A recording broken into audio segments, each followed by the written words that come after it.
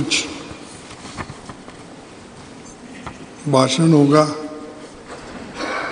और उसके बाद में हम सब लोगों को आप रिहा करेंगे आज। ऐसी सोच मेरी थी। वो गलत हो गया। लेकिन एक बात तो है, आज भारत के प्रधानमंत्री जी पहले प्रधानमंत्री, भारत के पहले प्रधानमंत्री जी बहुत लंबित भाषण दो तीन आज उनके हो गए। एक तो पार्लियामेंट में हो गया, एक तो जॉइंट वहाँ पर सेंट्रल हॉल में, अब फिर यहाँ पर। तो उन्होंने जो कुछ कहा, एक बात तो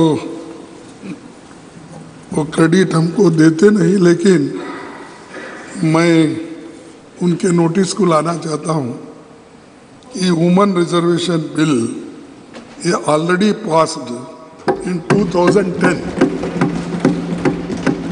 लेकिन इसको बाधा आ गई तो उसमें वही रुक गया। लेकिन ये पहले थोड़ा बैकवर्ड क्लासेस को रिजर्वेशन देने की बात थी। शेड्यूल कास्ट तो इजी था उनका, क्योंकि उनको ऑलरेडी कॉन्स्टिट्यूशनल रिजर्वेशन रहने की वजह से वन थर्ड ईजीली उसमें आता था। लेकिन बैकवर्ड क्लासेस और उनको इसमें जरा थोड़ी सी आगे पीछे होने का संभव इसलिए है कि unless constitutional amendment one third backward को देने का अगर नहीं होता तो नेचुरली वहाँ के महिलाओं को नहीं मिलता। और अगर वो अगर आप नहीं करेंगे तो सिर्फ़ उन बैकवर्ड क्लासेस को अन्याय होगा। क्यों अन्याय होगा कि चुन चुन के लोग ऐसा करते हैं हमेशा लेडीज़ के लिए, यानी बैकवर्ड क्लास के लेडीज़ में शेड्यूल कास्ट लेडीज़ में उतने पढ़े लिखे नहीं हैं। और उनकी लिटरेसी लिटरेसी ये भी साक्षरता भी कम है। वो कम रहने के वजह से और सभी पॉलिटिकल सभी पॉलिटिकल पार्टियों का, मैं एक पार्टी बोल के नहीं बोलता, सभी पॉलिटिकल पार्टी की एक आदत है कि महिला बोले तो कमज़ोर महिला को दे देते हैं। जो सक्षम है जो लड़ सकती है। अरे सुनो तुमको। अरे अरे आप टिकट वन थर्ड टिकट देते वक्त बैठिए यहाँ वन थर्ड की बात चल रही है।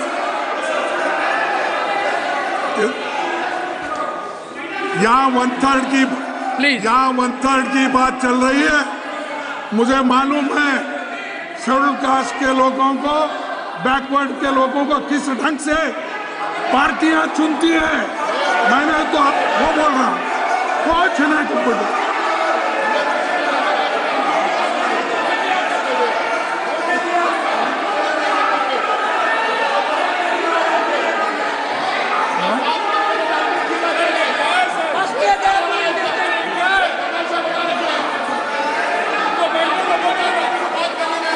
Sir, point of order.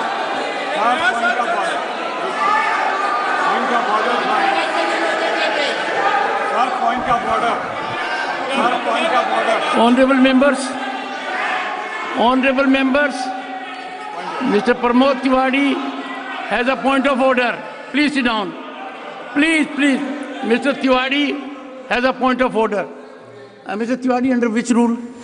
Sir अगर No, सदन rule? के सामने कोई चीज़ No, हो सदन के Please सामने कोई चीज़ हो, You are raising point of order. सदन के सामने कोई चीज़ हो तो नहीं, under which rule?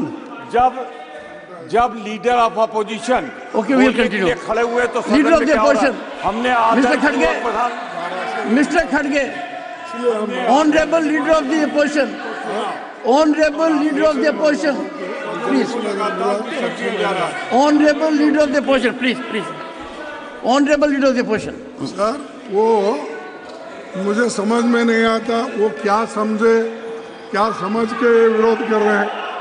मेरा कहना यह है कि कमज़ोर वर्गों के लोगों को हमेशा वो ऐसा टिकट देते हैं वो मुँह नहीं खोलना। सम, उस पार्टी में बात भी नहीं करना। ऐसे मैं उसी लिए बोल रहा हूँ सब पार्टी बोला मैं।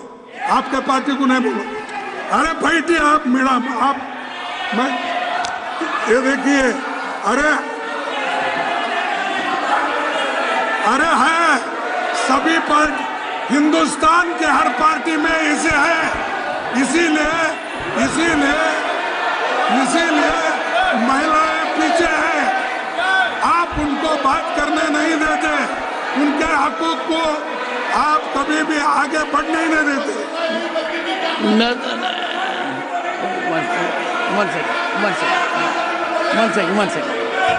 Please honourable members one second one second I'll, I, I'll, I'll come to you. Please, honorable finance minister. Honorable finance minister. Sir, I'm sorry. I respect the. Excuse me. Please, please. Sir, we, we respect the leader of the opposition. But to make a sweeping statement that all parties choose women who are not effective is absolutely unacceptable. I speak on behalf of all our women. We have all been empowered by our party, by our Prime Minister. Rashtrapati Draupadi Murmu ji is an empowered woman. Every, every MP of my party is an empowered woman. To make a sweeping statement, it might represent their party, although it had had women presidents for their party. In spite of that, they can't have women who are empowered. But I object to him Please. making a sweeping generalization of all parties. Leader of the opposition. Please, please. ये पिछड़ी हुए महि- महिलाओं को schedule caste महिलाओं को ऐसा मौका नहीं मिलता जैसा इनको मिल रहा है ये हम बोल रहे हैं इसीलिए Honorable finance minister. तो इसीलिए Honorable. राष्ट्रपति जी कौन है? One second, one second. See, Since, Who is since, the once Rashtrapati? again,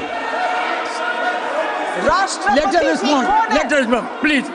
Honorable finance minister. राष्ट्रपति द्रौ- द्रौपदी मुर्मू जी कौन है I am sorry opposition leader cannot please insult people like this cannot draw differentiation between women महिला के भेद में no way no way how can you draw difference between one woman and another woman we are asking for reservation for all women Rashtrapati is a tribal woman Please, unacceptable please, please, please take your seat. Take your seat. Take your seat. Take your seat. Take your seat. Please take your seat. Take, take your seat. One second, take your seat. Honorable members,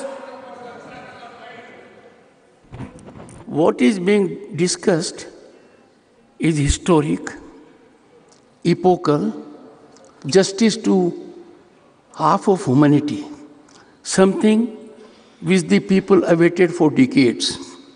Several efforts had been made, as the Honorable Prime Minister indicated. Honorable Khadge ji was saying something uh, to which an exception has been taken. Uh, what, what, what's, what's, what's, one second. One second. I would, honorable members, I minimum I expect is unanimity, affirmative step, total support to this historic step which is being taken belatedly and and one one second. One second. Mr. Tiwari, imagine, imagine women of this country in all categories are waiting for it. They look up to us. We are the upper house. Mr. We are the house of elders. If we don't come to support such an affirmative, affirmative legislation, All right. So I give the floor. Leader of the no one else. Leader of the opposition. No one. Nothing will go on record. Leader of the opposition. Please go ahead. Sir thank you And sir, I urge you. मेरा कहना यही है मैं हाथ जोड़ के विनती करता हूँ बिल का तो मैं स्वागत करता हूँ। एक सेकंड मैं हाथ जोड़ के विनती करता हूँ ये ये मुद्दा अत्यंत महत्वपूर्ण है पूरी दुनिया की नज़र है 50 परसेंट ह्यूमनिटी के साथ न्याय हो रहा है। कई प्रयास हुए, लंबे समय से प्रयास हुए। अब अब अपने को we have to fructify leader of the portion leader of the portion leader of the portion मैं वही बात बोल रहा हूँ और इसके समर्थन में हम भी पहले काम किए 2010 में इसको तैयार करने में पूरी कोशिश। सुने सुने। हाँ सर ऐसा हुआ तो हम भी वही आवाज़ उठाएँगे, तुम्हारी आवाज़ को बंद कर देंगे। Sir Parliament of India the temple of Indian democratic polity is sacred and permanent however as we meet for the first time in Rajya Sabha chamber in new parliament building this occasion marks a new beginning as far as venue of our deliberations are concerned. It is my fond hope that we have fruitful discussion on all matters of public interest and consider deliberations on bills. I also hope that in the times to come, the fraternity among parliamentarians cutting across the party lines is re-established in order to create a congenial atmosphere and constructive exchange of ideas among lawmakers. The need of the nation is that we parliamentarians live up to the people's expectation in addressing their concern.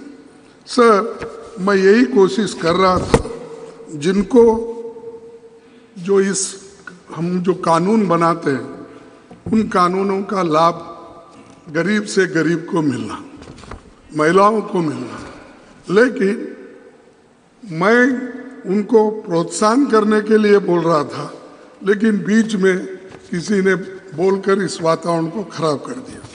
ठीक है, और एक, मुद्दा माननीय प्रधानमंत्री जी ने कहा कि फेडरल स्ट्रक्चर है, हमारी भारतीय डेमोक्रेसी और फेडरल स्ट्रक्चर को हमने बहुत मजबूती दी। लेकिन सब, सभी का कहना है, आप किसी से भी पूछो कि आपके नेतृत्व में फेडरल स्ट्रक्चर दिन पर दिन कमज़ोर होती जा रही है।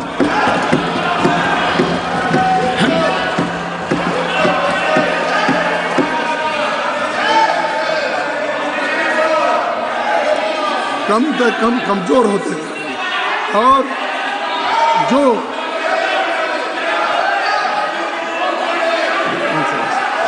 honourable honourable parliamentary affairs minister sir but honourable members sir I before one one second I appeal to you all this is a historic day and we must work with congeniality cooperation, consensual approach. Mr. Plazo say. Sir, my only request with folded hand is, sir, when Honorable Prime Minister spoke in the both the House and even today morning in the Central uh, Hall, the Prime Minister spoke totally apolitical. He narrated the, sir, sir, he entirely narrated the today's situation and never he alleged against anything. And it was very unbiased, balanced speech, sir. At least, at least on the day, first day, sir. On the first day, Nothing will go at least, least we can expect. Can you at least, least we can expect from the leader of the opposition that he is a very experienced person, sir. He is an experienced leader. He was eight-time MLA. Let him speak as a statesman, sir. That is what we expect from him, sir.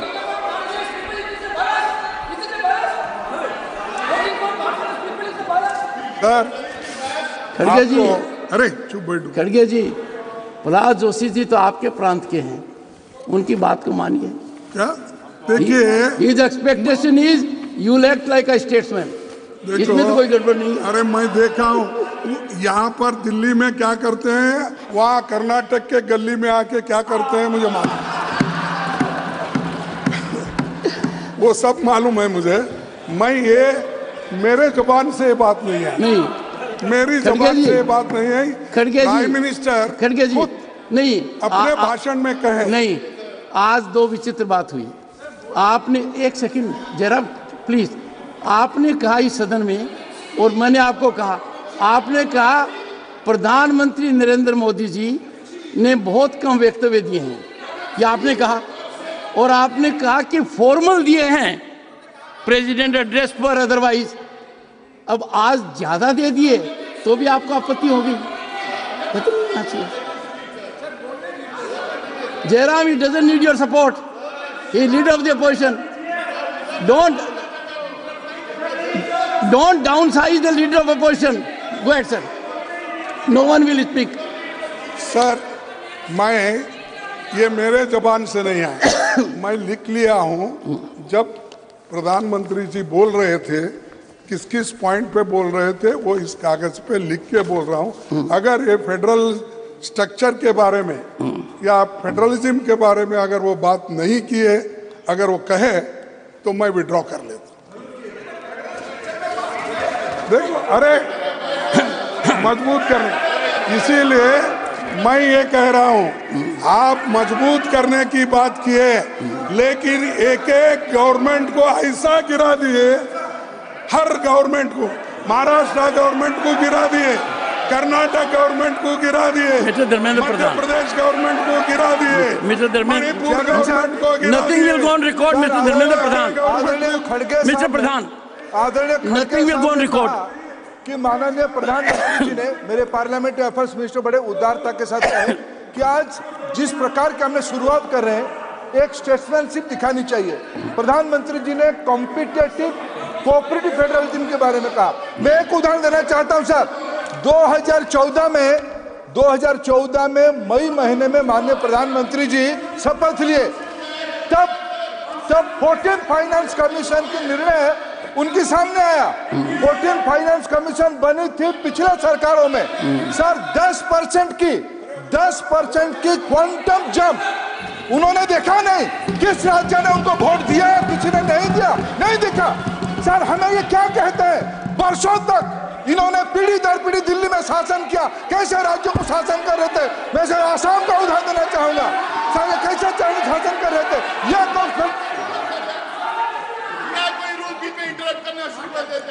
Sir ये क्या है? Only leader of the opposition now only leader of the opposition take seat take sir मैं आपसे प्रार्थना करता हूँ। मैं जब बात करता हूँ अगर वो गलत है तो बाद में उठ के बात कर सकते हैं।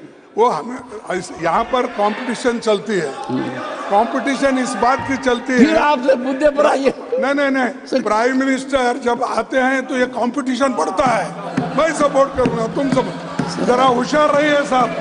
कौन आपके पीछे सपोर्ट करते हैं कौन आपके सामने बात करते हैं? इसका थोड़ा आप ख्याल कर लीजिए। ऐसा खड़गे जी। सर ये खड़गे जो विषय पर रहिए वरना बात दूर तक जाएगी।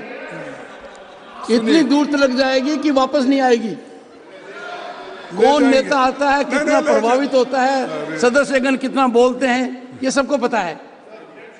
तो please on the subject sir ये जो है बहुत से स्टेट में एक स्टेट में कमज़ोर उनको किया जा रहा है।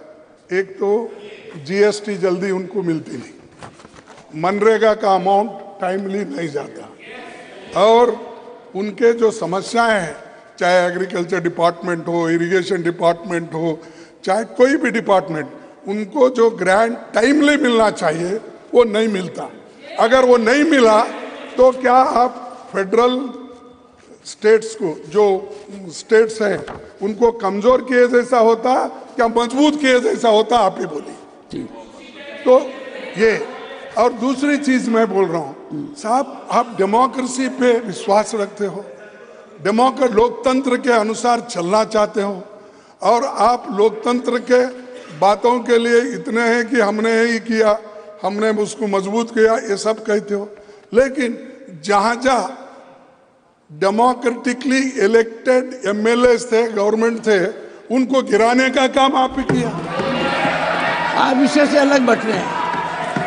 माननीय प्रतिपक्ष Netaji I I expect you to please confirm क्या है साहब इश्यू देखो ये ये One second. नहीं नहीं मैं मैं नहीं I am not going to hit sir One second. Not going to One hit second, one second. I am not going to yes, but, but you listen to me. I am not going You will listen to me. अरे One second. Since, नहीं तो आप ही चला no, दो no, since you have made a very serious reflection con- concerning the Honorable Finance Minister's ministry, let her respond. Come on, please go ahead. Thank you very much for giving me this opportunity. Nothing will go on record. Accept. Factually incorrect statement has been made by the opposition leader. GST समय पर नहीं मिलता एकदम गलत I even borrowed money and paid the states at least one or two months in advance each time. Three times we paid in advance. There is no money pending for any state on GST. No delayed payments on GST. I will give you complete data. I'm sorry. And if the Well- states don't give the Both the, both the Honorable Leader of the Opposition and Honorable Finance Minister will put the documents on record yes, substantiating their stand, either I side. provide Do the it. record, sir. Sir, During course of the day. don't give their We, utilization ca- we cannot allow in time. Parliament, It is No, we cannot have free the fall leader of information. To blame like this.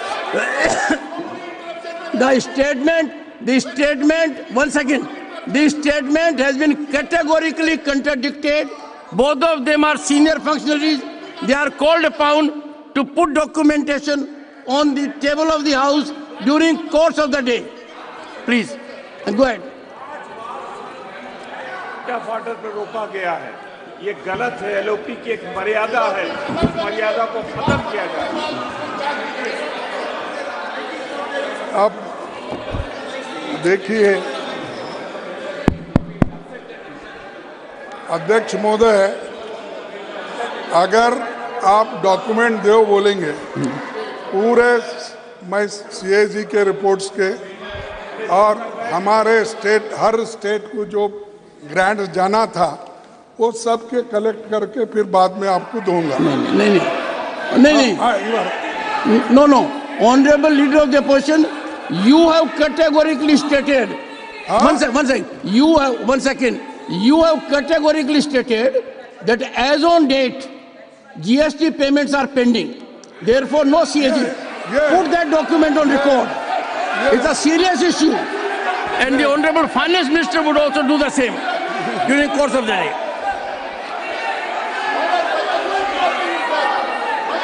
Sir, but because the leader of the opposition stated so authoritatively, he should have the document in his hand. Mm. Without that, how did he say?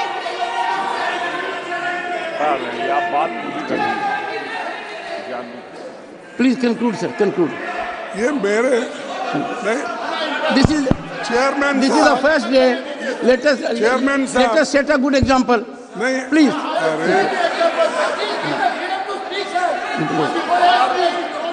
Sir ये ये obstruction मेरे लिए ही क्यों होता समझ में नहीं आया और प्राइम मिनिस्टर भी नहीं बोल रहे उधर जरा बैठो बोल के नहीं।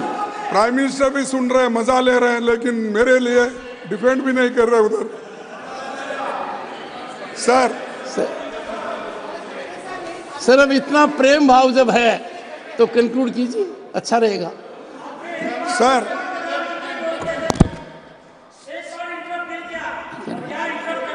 this is not the way to. Yeah, no no. Don't get into this habit. Don't get into this habit.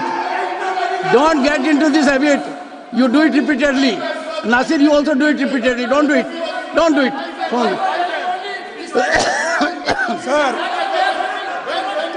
Kadgaji, can you, can you have some control over your people?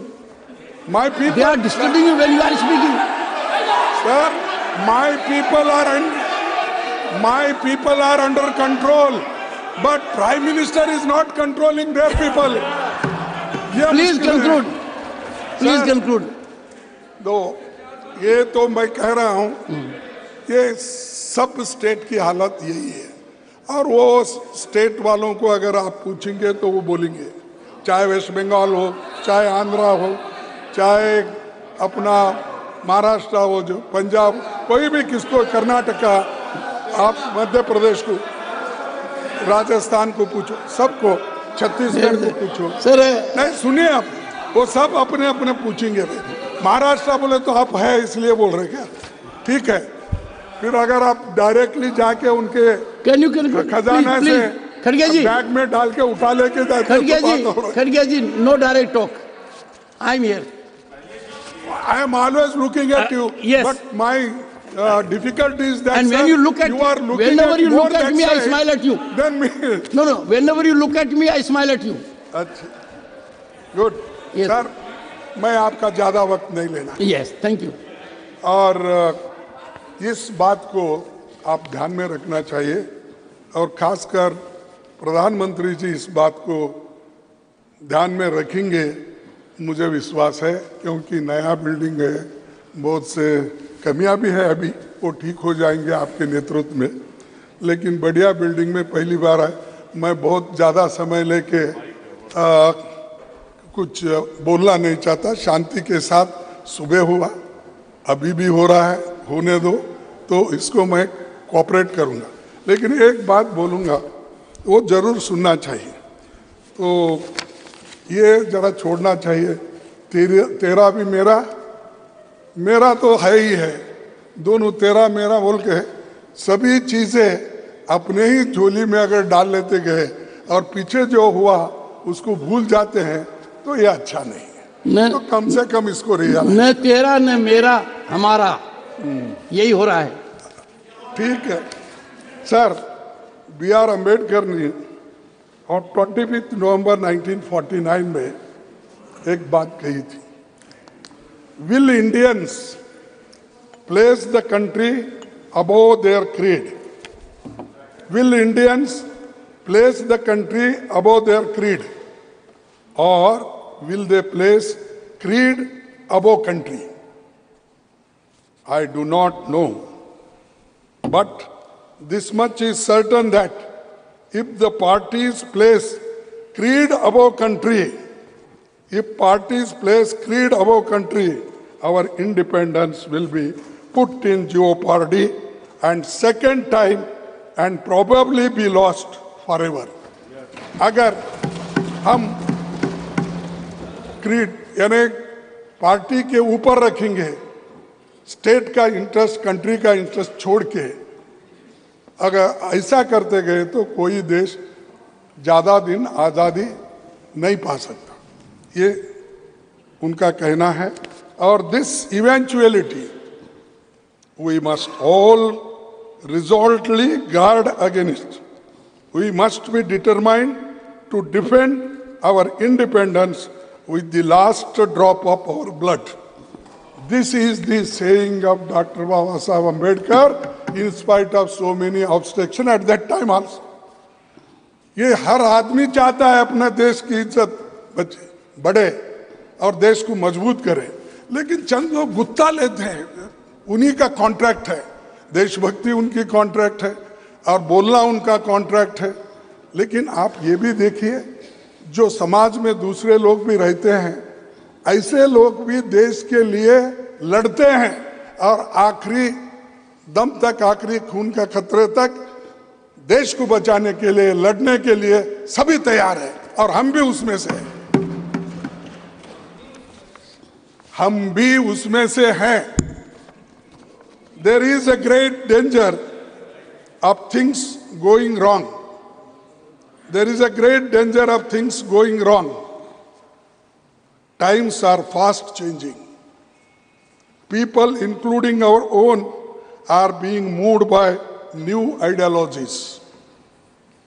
They are getting tired of government by the people.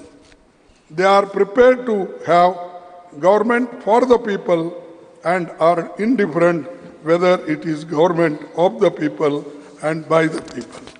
ये जो है कहना उस वक्त भी ऐसे समय आए लेकिन देश के लिए सभी एक होकर ऐसी बातें उस वक्त आई तो इसको हम एक होकर देश के अच्छाई के लिए या वुमेन रिजर्वेशन हो या S C reservation in promotion हो या कोई चीज़ हम मिल के सबको विश्वास में लेके करेंगे।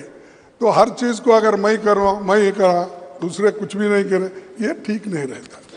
तो एनीवे एक बात कह के मैं खत्म कर रहा हूँ अपनी बात को समाप्त करता हूँ।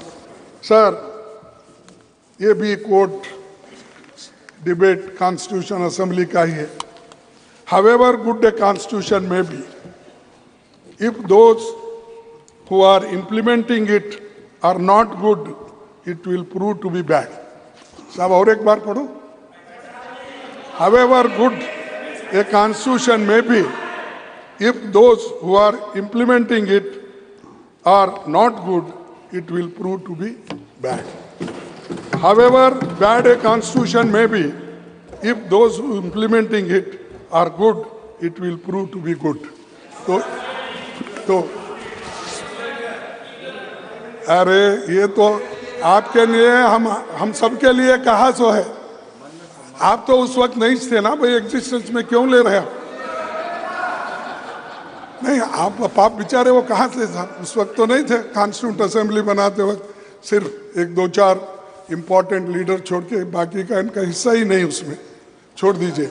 इसलिए मैं आपसे विनंती करता हूँ, हमको जो कहना है, कहने दो। उसका उसका उत्तर तो देंगे प्राइम मिनिस्टर इतने मज़बूत है एक एक घंटा दो दो घंटे तीन तीन घंटे बोलेंगे और हर दिन बोलेंगे लेकिन मणिपुर में नहीं बोलेंगे तो वो कैसा खड़गे जी, भूल जा खड़गे, please, please. नहीं खड़गे ji please sir I expect उनके- at you. अरे expect. Please. Not expected of you. उनको not expected not expected of you. इस सदन के अंदर मैंने अथक प्रयास किया। मैंने ये कहा कि आधी रात तक बहस कराऊँगा। आपने मौके को अवेल नहीं किया। लगातार मैंने आपको अनुरोध किया। नतीजा ये हुआ कि लोकसभा में प्रधानमंत्री जी और गृह मंत्री जी ने वक्तव्य दिया। सर ऐसा मत ठीक नहीं। देखो मुझे कहेंगे मुझे कहेंगे Please, मेरा. हक होता है लेकिन मेरा हक होता है। अरे मैं वहीं रिप्लाई मैंने आँखों से देखा है। गोयल जी मुझे पीड़ा हुई है। मुझे परेशानी हुई है। कई चीज़ें अगर पहले ही होती Okay, please तो आज ये नौबत नहीं आती। उनका you, खड़गे जी। था। उसी वक्त मैं जवाब देने वाला था। हम बहुत से जो करने वाले लेकिन मैं वो ओकेजन नहीं समझा। यहाँ पर जो प्रधानमंत्री अपने भाषण में कहे उसके जवाब में मैं अपने चार शब्द रखा हूँ। अगर आपको ठीक नहीं लगता तो बात और है लेकिन हम सब मिलके काम करना है अगर मिलके काम नहीं करेंगे देश का उद्धार होने वाला नहीं है Thank you. Thank you The House stands adjourned to meet at 11 a.m. tomorrow, Wednesday, the 20th September 2023.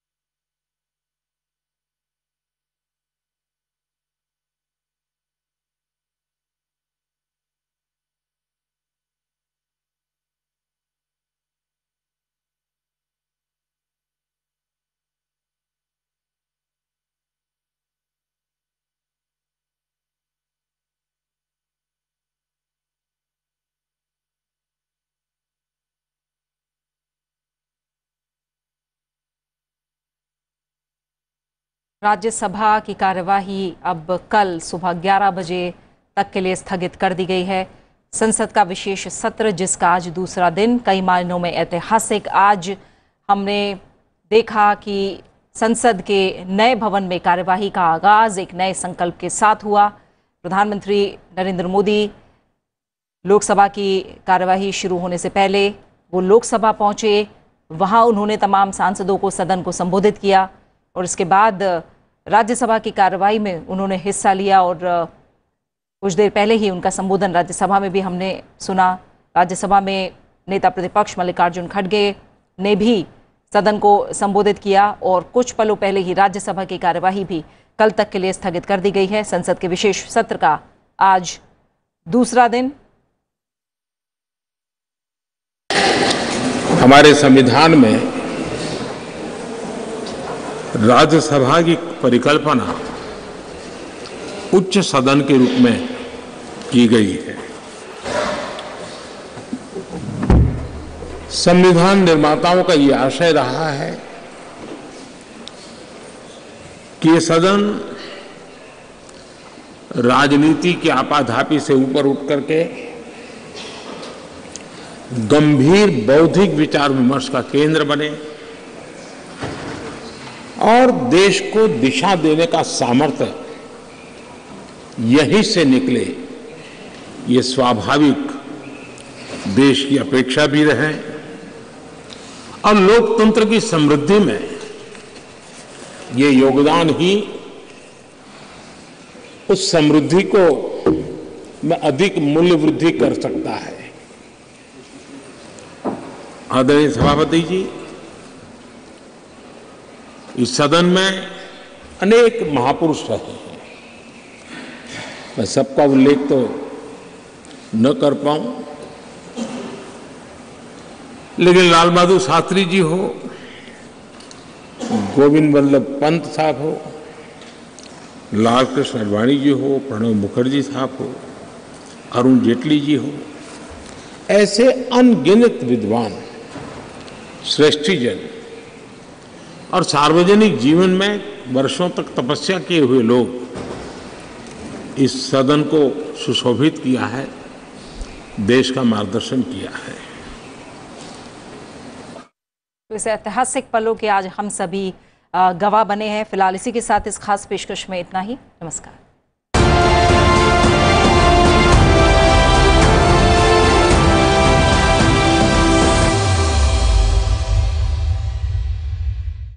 ये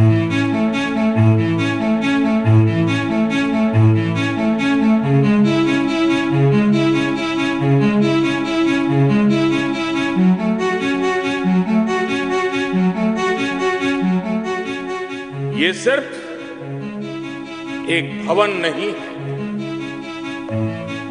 ये 140 करोड़ भारतवासियों की आकांक्षाओं और सपनों का प्रतिबिंब है।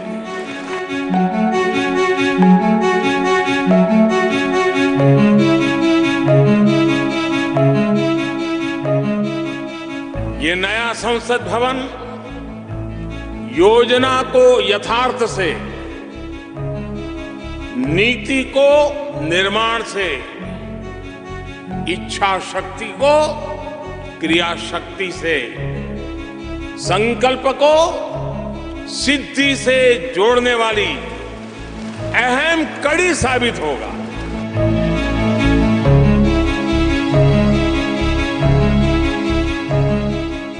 ये नया संसद भवन इस विश्वास को नई बुलंदी देने वाला है।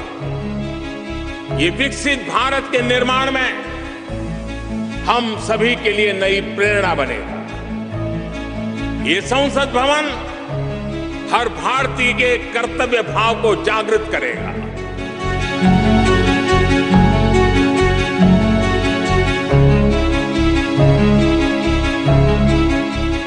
यहाँ होने वाला हर निर्णय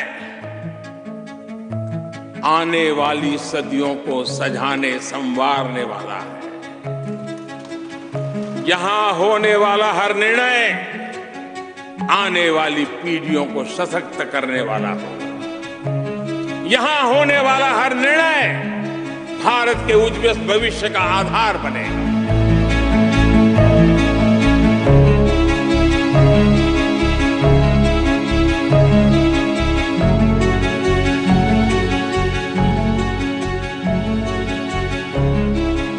नए संसद भवन की हर ईंट,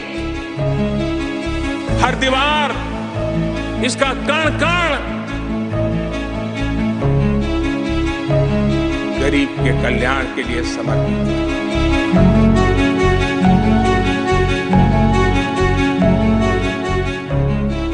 संसद के इस नए भवन में बनने वाले नए कानून भारत को विकसित भारत बनाएँगे।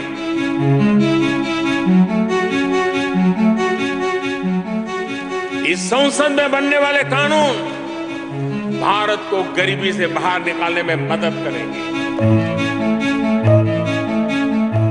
इस संसद में बनने वाले कानून देश के युवाओं के लिए, महिलाओं के लिए नए अवसरों का निर्माण करेंगे।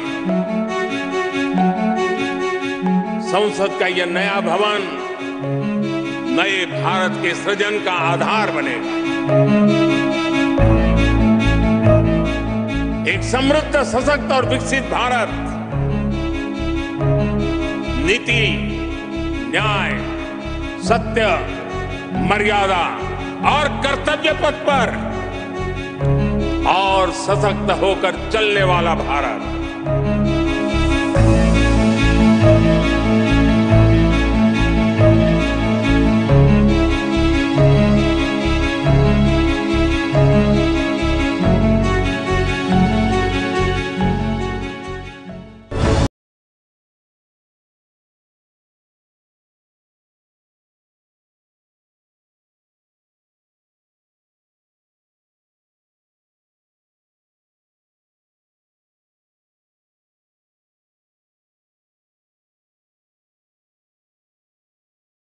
नमस्कार, मैं दीक्षा कोहली और इस वक्त हम मौजूद हैं संसद के नए प्रांगण में। इस एरिया को कोर्टयार्ड एरिया कहते हैं। दरअसल, जब हम किसी भी भवन का निर्माण करते हैं, उस सपने को देखते हैं तो उसे मूर्त रूप देने से पहले उसकी एक परिकल्पना को तैयार किया जाता है। जो उस परिकल्पना को तैयार करता है, ये समझ लीजिए, जब वो कलम उठाता है, ये ज़रूर बता देता है कि हाँ ये हु बहू ऐसे ही दिखने वाली है। जी हाँ मैं बात कर रही हूँ संसद के नए भवन की। और आज हमारे साथ हैं इसी भवन के आर्किटेक्ट बिमल पटेल जी। नमस्कार सर। बहुत बहुत स्वागत है आपका संसद टीवी पर। थैंक यू सर शुरुआत से बात करते हैं। दिल्ली की ही बात करती हूँ क्योंकि इस वक्त हम दिल्ली में ही हैं। कहते हैं दिल्ली हिंदुस्तान का दिल है। 1931 की दिल्ली को अगर देखा जाए जो बिल्कुल इम्पीरियल स्टाइल में बनी थी उस दिल्ली में रिवैम्प करना एक बड़ी चुनौती। लेकिन आपने अगर मैं कहूँ कि स्पेक्टेकुलर हेरिटेज स्पेस के बीच में आपने एक डायमंड तैयार किया है तो ये गलत नहीं होगा। थैंक यू पर ये कितना बड़ा चैलेंज था इसे तैयार करना इसे बनाना और वो भी ऐसे कि जो ऑलरेडी एग्जिस्टिंग है उसे कोई फ़र्क ना पड़े। इसके बारे में सोचना चालू किया तो ये तो ख्याल था ही कि एक बहुत बहुत इम्पोर्टेंट हेरिटेज सेटिंग में हम नई पार्लियामेंट बनाने जा रहे हैं। आ, ये हेरिटेज सेटिंग है जो पूरे हिंदुस्तान के दिल में बसी हुई हेरिटेज सेटिंग है। बनाई थी ब्रिटिश लोगों ने पर हिंदुस्तान के लोगों के दिल में भी है। तो यहाँ पे जब भी नई पार्लियामेंट बनानी थी तो ऐसे बनाना था कि हेरिटेज डिस्टर्ब ना हो। और साथ साथ में एक अपना सा बिल्डिंग भी एक बने जो हिंदुस्तान के हेरिटेज को रिफ्लेक्ट करे अपने नेशन को रिफ्लेक्ट करे और इस स्टोरी में एक ये स्टोरी हिंदुस्तान की स्टोरी को आगे बढ़ाए। तो यही तो एक चैलेंज थी और जब भी हमें बताया गया कि हमें ये करना है तो ये बहुत आनंद भी था और बहुत बड़ी रिस्पॉन्सिबिलिटी भी थी क्योंकि ये बिल्डिंग अभी इसके साथ पूरे हिंदुस्तान के होप्स जुड़े हुए हैं। प्राइम मिनिस्टर का विजन विजन जुड़ा हुआ है। तो it is a very challenging project बिल्कुल। लकीली ऐसा था कि मेरे साथ मेरी टीम बहुत देर are lot of very very capable competent people working with me मैं एक लीडरशिप देता हूँ ये टीम को पर ये ऐसी चीज़ हो नहीं सकती है if this is not a team work बिल्कुल डिज़ाइन में। डिज़ाइन के साथ contractor C P W D ministry सभी को मिल के काम करना है तभी ये चैलेंज को टैकल कर सके। बिल्कुल। लेकिन ऐसा था कि किसी कंटेस्ट के तहत आपका नाम आगे आया इसके लिए एक डिज़ाइनिंग कंटेस्ट किया गया जिसमें आपने भी पार्टिसिपेट किया था। क्या ऐसा कुछ हुआ था? यस yes, एक कंपटीशन थी जिसमें पूरे सेंट्रल विस्ता के रिवैम्प की कॉन्सेप्चुअल डिज़ाइन तैयार करनी थी कि ये पूरा जो एरिया है वो पूरे एरिया को एक टोटली रिवैम्प करके एक बहुत ही इम्पोर्टेंट गवर्नेंस इंफ्रास्ट्रक्चर बनाना था। यानी लेजिस्लेटिव कॉम्प्लेक्स एग्जीक्यूटिव कॉम्प्लेक्स पुरानी जो ऑफिसेज है उसकी जगह काफ़ी सारे central government employees are working इसके साथ बहुत बड़ी पब्लिक स्पेस है बीच में जो आज अपने कर्तव्य पथ कहते हैं। पुराना नाम था राजपथ। दोनों साइड पे बहुत बड़े इंपॉर्टेंट गार्डन्स है जो दिल्ली के लिए इंपॉर्टेंट है। तो एक बड़ी पब्लिक स्पेस भी थी। तो ये public space project public space improvement project ये एक this is also a project for creating governance infrastructure और इसके साथ हमने जब ये सोचा तो ये भी सोचा कि वेन ये जो आज के दिन सरकार की सीट है वो रायसीना हिल के ऊपर है। North Block south block Rashtrapati Bhavan. राष्ट्रपति भवन तो खैर first citizen of the country है।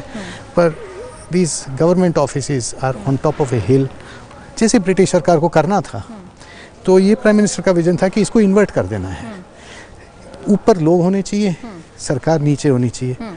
तो हमने सोचा कि this this it would be a good idea कि नॉर्थ ब्लॉक साउथ ब्लॉक्स में म्यूजियम्स बने अ, और पूरी सरकार उसके ऊपर ये पीपल्स प्लेस बने नीचे पूरी सरकार की स्पेस बने।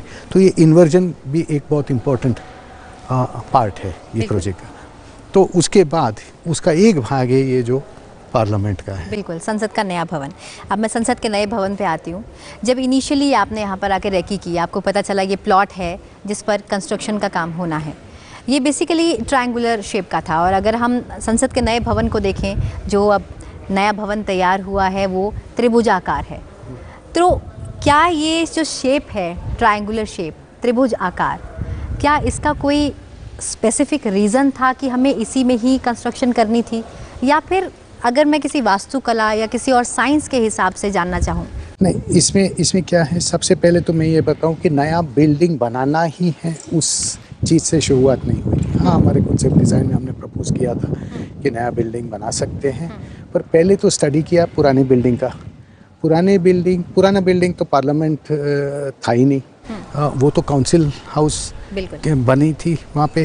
ये this was not meant to be Parliament of India ये तो we adapted it for Parliament of India अभी उसमें काउंसिल हाउस में जो चेंबर था जो आज लोकसभा चेंबर बोलते हैं वो एक्चुअली डिज़ाइन किया गया था फॉर 150 पीपल जिसके अंदर आज देर आर 542 पीपल सिटिंग तो बहुत ही स्ट्रेस्ड फैसिलिटीज़ हैं। वहाँ काफ़ी सारी ऑफिसेज हैं, काफ़ी सारी अदर इंफ्रास्ट्रक्चर हैं। And it is a building which is wonderful but it was never meant to be Parliament of India it was meant to be council house of the British सरकार और उसको अपने adapt कर लिया है। आज we are thinking of that as so जब ही स्टडी किया, तभी पता चला कि नया बिल्डिंग बनाना ही होगा। क्योंकि. If the parliament is to be if if if Lok Sabha Rajya Sabha are to be expanded तो वो तो पुराने बिल्डिंग में अशक्य है। तो नया बिल्डिंग करना पड़ेगा। फिर हमने ये सोचा कि नया बिल्डिंग करते हैं तो बाजू वाले प्लॉट में ही क्यों नहीं करें? क्योंकि ये बाजू वाला प्लॉट है, उसमें करें और साथ साथ में करें तो दोनों बिल्डिंग एक कॉम्प्लेक्स बन जाएँगे और पास्ट और present and future are all tied up together and दोनों बिल्डिंग कैन वर्क टुगेदर तो as soon as we started doing that it became clear कि दो बिल्डिंग साथ साथ में मिलजुल के चलना है। एक पार्लियामेंट कॉम्प्लेक्स बना रहे हैं, एक नई पार्लियामेंट नहीं बना रहे पार्लियामेंट कॉम्प्लेक्स बना रहे हैं। और दोनों आपस में they should be sitting comfortably next to each other they should not compete with each other तो how to match them but not copy old Parliament copy नहीं करना है। ये अपना हिंदुस्तान का पार्लियामेंट है। It has to be different and at the same time it respects the heritage. So it is a approach of that sort तो हमने जो बार का व्यू है उसमें we have also taken the stone to be similar आप building का size देखोगे तो हाइट वाइट भी उनसे मैचिंग है। तो दोनों एक जैसे लगे कि हाँ हो सकते हैं दोनों साथ में और ये अपना पार्लियामेंट कॉम्प्लेक्स है। अब प्लॉट तो ट्रायंगुलर था। तो उस और रिक्वायरमेंट काफ़ी ज़्यादा थी। तो इसमें triangular building maximum is the best option साथ साथ में ये जो सर्कुलर ऐसे बिल्डिंग्स बनते हैं जैसे अपने टेम्पल्स होते हैं जिसको भी इसको भी अपने टेंपल ऑफ़ डेमोक्रेसी बोलते हैं। तो अ, ऐसे बिल्डिंग्स को का शेप एक एक एक एक एक प्राइमरी फॉर्म से दिया जाता है। जैसे उसमें सर्कल है इसमें अ, अपने टेम्पल्स होते हैं उसमें स्क्वायर्स पे पैटर्न्स बनती हैं। तो इसमें हमने डिसाइड किया कि प्लॉट है ट्रायंगुलर और ये triangular form will work best धीरे धीरे करते सोचते गए तो तीन कोने मिलेंगे एक में राज्यसभा रहेगी एक में लोकसभा रहेगी। एक तीसरा जो कोना है जिसमें जो अपने खड़े हैं यहाँ पे ये जो कोर्ट यार्ड है यहाँ पे ये पार्लियामेंट में बहुत इम्पोर्टेंट है लोग मिलते हैं बातें करते हैं आपस में तो ये उनकी कैफ़ेज और डाइनिंग स्पेस लाउंज स्पेस बोलो ये तो ये सेंट्रल सेंट्रल लाउंज जो पुरानी बिल्डिंग में वो सेंट्रल हॉल ये काम कर रही थी तो ये this is the equivalent of that space here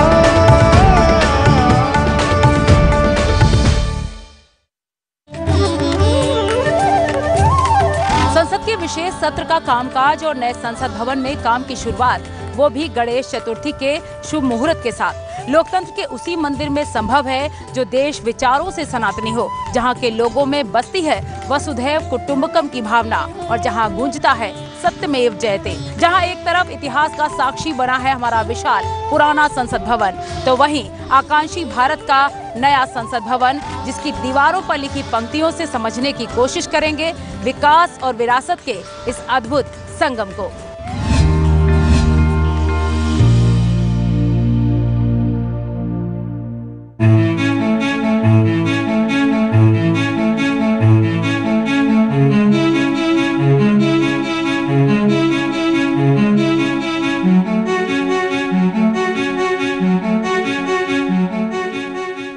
सिर्फ़ एक भवन नहीं है ये 140 करोड़ भारतवासियों की आकांक्षाओं और सपनों का प्रतिबिंब है The two parliament buildings are not only priceless images of Indian democracy, but also signify that change is the only constant. On the one side is history. There stands a heritage that has been there for over 100 years, bearing witness to India's journey from bondage to freedom. It is in the central hall of this building that India officially attained its freedom at the midnight of 14th and 15th of August 1947. It has stood witness to India's progress as a free nation over 76 years, making of the Indian Constitution the glue that binds all of us.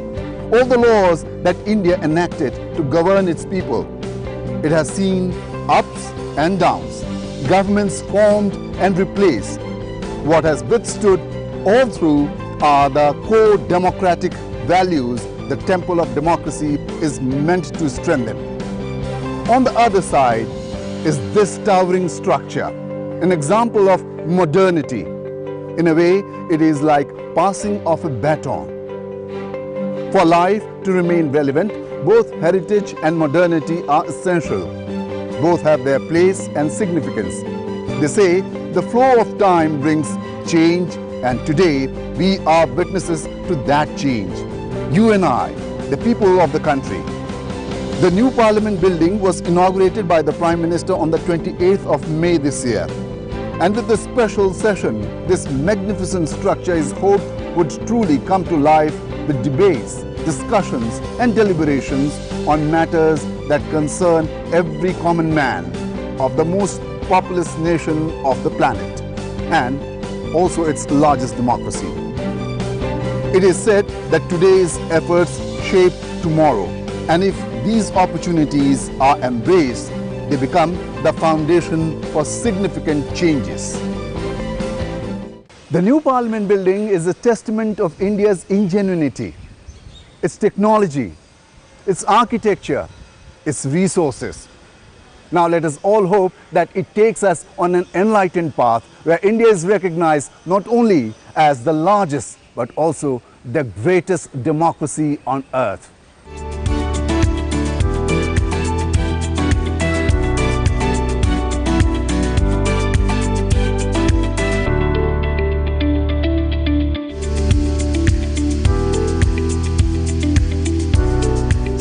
1976 में बयालीसवें संविधान संशोधन के माध्यम से अपनाए गए मौलिक कर्तव्यों का मूल उद्देश्य नागरिकों को संविधान का पालन करने के लिए प्रेरित करने और आदर्श विचारों को बढ़ावा देने का है। आइए आपको बताते हैं संविधान में वर्णित नौवा मौलिक कर्तव्य क्या है। नौवा कर्तव्य है सार्वजनिक संपत्ति को सुरक्षित करना और हिंसा से दूर रखना। सरकार की संपत्ति, जैसे कि ऐसे भवन या संपत्तियाँ जिनका प्रयोग जल, प्रकाश, शक्ति या ऊर्जा के उत्पादन और वितरण के लिए किया जाता हो।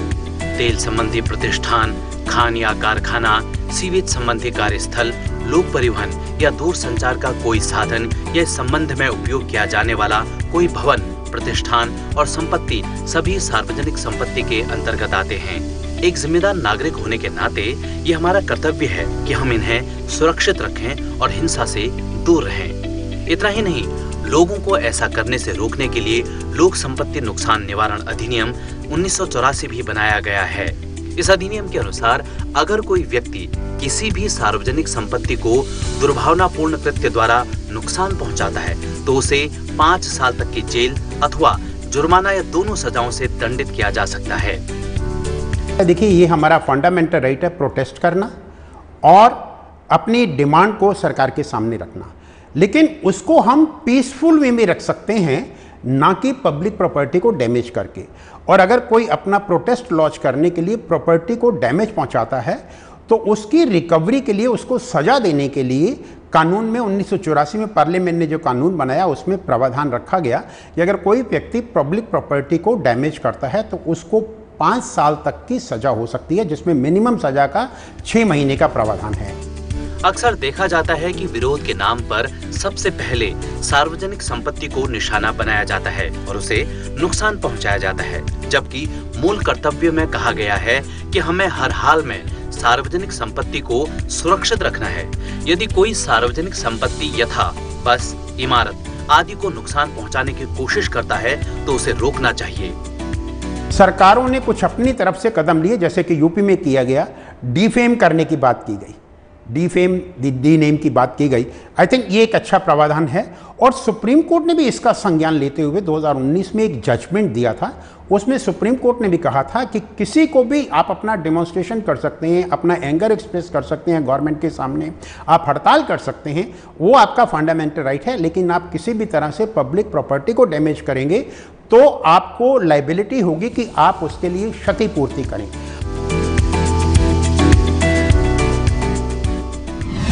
महात्मा गांधी के शब्दों में मौलिक अधिकार वे जिम्मेदारियाँ हैं, जिन्हें नागरिकों को अत्यंत समर्पण और सच्ची ईमानदारी के साथ पूरा करना चाहिए।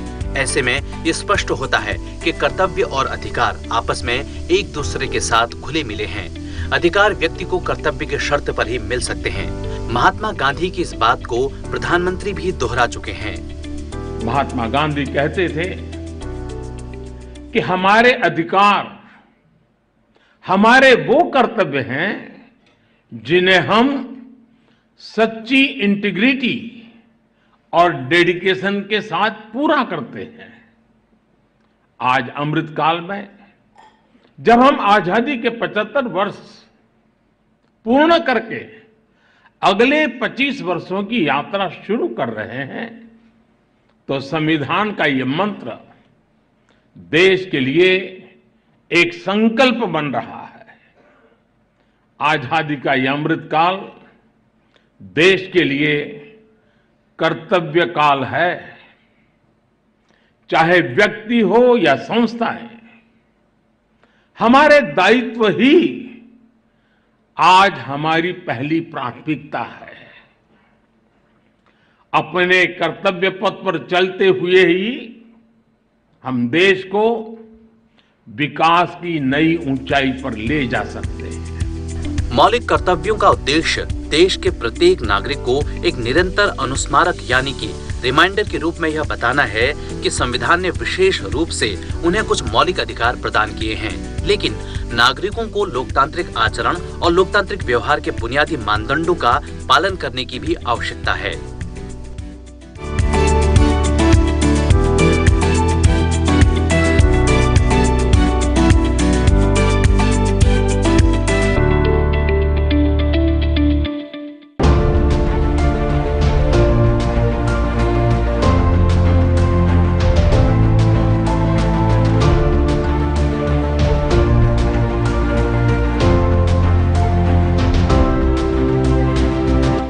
नमस्कार, मेरा नाम फरीद कमालुद्दीन शेख है। मेरी कंपनी का नाम Gold Finger Establishment Private Limited है। हमें वर्क ऑर्डर मिला स्टोन क्लैडिंग वर्क्स का। 2020 मार्च, जिसके अंदर हमको सांसद भवन में जुड़ के मेहनत करके खुशी से काम करने का अवसर मिला है। ये काम हमने सबसे पहले वर्क ऑर्डर मिलने के तुरंत ही हमने पत्थर का जो सिलेक्शन था, जो बेस्ट क्वालिटी पत्थर को हमको लाके यहाँ पे इस्तेमाल करना था, हमने पहले उसके ऊपर ध्यान दिया। माइंसों में गए। एक एक माइंस में जाके जो हमको पत्थर जिस कलर का लगना था सरमत्रा स्टोन उसको माइंस में जाके हमने इंश्योर करके उस ब्लॉक को वहाँ से निकलवाया और सरमत्रा स्टोन फैक्ट्री के यहाँ पहुँचवाया। वहाँ से उसमें भी हमने अलग से सॉर्टिंग किया कि जो हमारे काम का था हमने उसको सेलेक्ट किया। जो हमारे काम का नहीं उसको साइड करके उसको हमने उसमें L corner round column octagon column जो बनने थे उदयपुर। हमने उदयपुर फैक्ट्री में भिजवाया और उदयपुर फैक्ट्री के अंदर स्पेशल मशीन इसके लिए लगी। साइड पे पत्थर आ गया। साइड पे पत्थर आने के बाद चैलेंज स्टार्ट होता है यहाँ से कि हर एक पत्थर को उसके रिक्वायरमेंट के हिसाब से हमारे टीम तक पहुँचाना। वो कब कितने क्वांटिटी में कैसे पहुँचेगा, कैसे लगेगा ड्राइंग के हिसाब से लग रहे हैं कि नहीं लग रहे, ये इंश्योर करना मेरे काम था। पत्थर, Makrana marble Sarmathura, Dholpur sand stone red stone beige stone सबको एक प्रॉपर तरीके से क्वांटिटी चेक करना। Makrana marble flooring work flooring work में ये सेप की साइज़ ये बहुत ही खास पत्थर है। सेंटर फेवर एरिया में मैंने मकराना मार्बल का काम देखा है। मेरा ये काम था कि यहाँ पर कि ये जो स्टोन जो लगे हैं, ये एज पर ड्राइंग के हिसाब से जो जो फ्रेम लगे हुए हैं एज पर ड्राइंग के हिसाब से जैसे हमें पिक्चर में मिला था एक्जैक्ट वैसे दिखे। मुझे गोल्ड फिंगर की तरफ़ से जितने भी सेंटर फॉर एरिया में क्लाइडिंग के वर्क थे, वो मुझे दिए गए। पूरे रिस्पॉन्सिबिलिटी से ये वर्क को कंप्लीट करने के लिए। देन जब मैं इस वर्क को कराने के लिए अपनी टीम के साथ इस एरिया में प्रेजेंट हुई, तब मुझे लगा कि नहीं, ये मुझे बहुत बड़ी ज़िम्मेदारी है और मुझे पूरे लगने के साथ इसे कंप्लीट करने हैं। फिर मैंने अपने टीम को अच्छे से लीड किए। लीड करने के साथ मैंने टाइम टू टाइम हर एक वर्क का एक टाइम पीरियड मैंने पर्टिकुलर सेट किया। देन उसके साथ मैंने उसको प्रेजेंट किया। और ये काफ़ी गर्व की बात होती है कि इतने बड़े संसद भवन को बनाने में और इस एरिया को मेरे मेरे योगदान रहे इस एरिया में। ये पत्थर हम आठ सात आठ आदमी लेके आए हैं अच्छे से सफ़ाई करके सीलर्स लगा के मजबूती से लगाया है इसमें कोई दिक्कत नहीं और अपने मन से लगाया है कि ये कभी गिरने के नतीजे में नहीं है। इसमें कितना ही लोड दिया जाए फिर भी कुछ नहीं होगा इसका। बहुत मज़बूत है जो नीचे मार, वा, वाइट मार्बल लगा है पहले नीचे क्लीनिंग किया था जैसे मान लो कोई भी कचरा हो तो उसके लिए पहले सफ़ाई करने के बाद पानी से पहले मतलब उसको धुल धुलाई किया। फिर अपना पत्थर आया, उसको साफ़ किया क्लिनिंग करने के बाद में, फिर उसमें सीलर मारे दो कोट। उसके बाद में जो अपना मसाला है, केमिकल है, उसको बढ़िया मशीन से मिलाया। मशीन से मिलाने के बाद में उसको नीचे मतलब लेवल किया। लेवल करने के बाद में पत्थर को उसको चेक करवाया, अपना पत्थर ठीक है या नहीं है। उन्होंने बोला, ठीक है सबको चेकिंग करवा के। फिर उसको मतलब फिट किया। फिट करने के बाद में वो बारह घंटे में सूखता है। बारह घंटे में होने के बाद में फिर उसको चेक करवाया। जब उन्होंने पास किया, उसके बाद वो क्लियर हुआ। यहाँ पे बहुत हैवी स्टोन थे। उसको लेकर के, ऊपर लेकर के लगाना बहुत ज़्यादा टफ था। तो उसमें हम लोग ज़्यादातर इंश्योर करते थे कि किसी को कोई तकलीफ़ ना हो। वो स्टोन ऊपर से फॉल भी हो सकते हैं, गिर भी सकते हैं। तो इसके इसके लिए हम लोग नीचे पूरा इंश्योर करके और ऊपर स्टोन उठाते थे। और सेफ्टी का यहाँ पे प्रॉपर ध्यान रखा गया। हमारी भी टीम ने बहुत मदद की हमारी। जो हमारे वर्कर थे वो लोग भी बहुत अच्छे से हमारी बातों को समझे और सेफ्टी में रहे। और मुझे बहुत खुशी है कि मुझे ये पार्लियामेंट प्रोजेक्ट पे काम करने को मिला। हमारी टीम ने बखूबी इसको बहुत अच्छे से, बहुत मेहनत से हमारे हर टीम ने हर एरिया वाइज ने सेंटर फ्लोर एरिया कॉन्स्टिट्यूशन के लिए और अपने Raisina Road old Parliament side red cross side अच्छे से उस काम को पूरा किया। और सब मेहनत, सब स्टाफ ने, सब वर्कर भाई लोग ने अच्छे से मेहनत करके इसको एक दूसरे से मिलजुल के अच्छे से काम समय पूरा करके दिया। और मुझे गर्व होता है कि नए संसद भवन को, इस काम को पूरा करने के लिए मैंने मेरी कुछ योगदान दिया, दिन रात करके, मेहनत करके इसको हमने पूरा करवाने के लिए एक चैलेंज के रूप में इसको स्वीकार किया। आज हमारे लिए, हमारी कंपनी के लिए बहुत गर्व की बात है कि सांसद भवन जैसे प्रोजेक्ट में प्रेस्टिजियस प्रोजेक्ट के अंदर हमको मौका मिला। हमने इसको बखूबी इसको निभाया और आज हमारे रूह से हमको खुशी है कि हमने ऐसा काम किया है।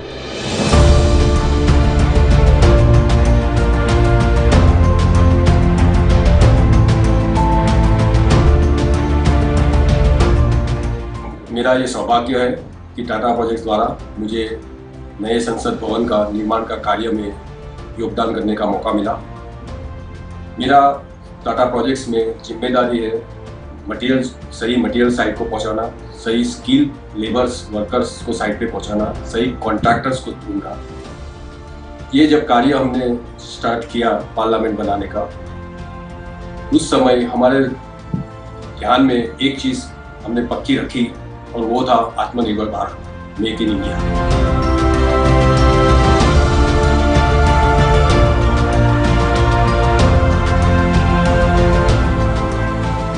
क्योंकि ये भारत के लिए और भारत की जनता के लिए बन रहा था सो उसमें भारत के लोग होने चाहिए, भारत का मटेरियल होना चाहिए।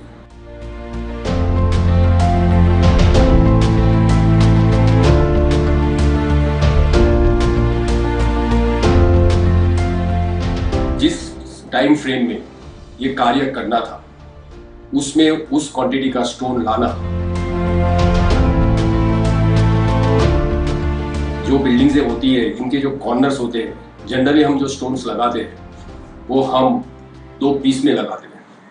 ये बिल्डिंग के कार्य में हमें संसद भवन में एक पत्थर में से काट के उसको एक ही स्टोन का पीस लगना है, जहाँ भी कॉर्नर्स है।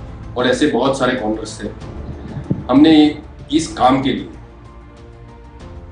जो श्रेष्ठ वेंडर है और श्रेष्ठ माइंस है जहाँ उच्चतम क्वालिटी का मटेरियल है। और उसके जो प्रोसेसिंग्स है, जो काटने के लिए, उसके कई सारे फैक्ट्रीज जिसकी हमने पूरी उनकी गुणवत्ता का एनालिसिस किया। और ये बहुत बारीक प्लानिंग होता है बिकॉज़ आप जब कुछ लगा रहे हो तो साइड से एक मेज़रमेंट जाता है। उधर से आपको ब्लॉक सिलेक्ट करने पड़ते हैं। वो ब्लॉक माइंस में से कटवा के आपको ये अलग अलग फैक्ट्री में भेजना है। और वहाँ से वो शेप में लेके उसको प्रॉपर ट्रीटमेंट करके पैकिंग करके आपको साइट पे डिलीवर करना है। और ये प्रोजेक्ट में जब जो ये कार्य था, उसमें हमारे पास जस्ट इन टाइम उसी समय, क्योंकि हम इतना मटेरियल स्टोर नहीं कर सकते थे तो हर एक चीज़ को बहुत मेटिकुलसली प्लान हुआ। बहुत सारे प्लान ए बी सी सभी हमने इस पे यूज़ किए कि जिसकी वजह से आज हम ये समय में ख़त्म कर हमने इस कार्य के लिए गोल्ड फिंगर को ये ज़िम्मेदारी दी थी और जो काफ़ी सारे काम हिंदुस्तान में करते हैं स्टोन के और उन्होंने बाकायदा बहुत सही तरह से ये समय पे और सही क्वालिटी के साथ काम करके दिया।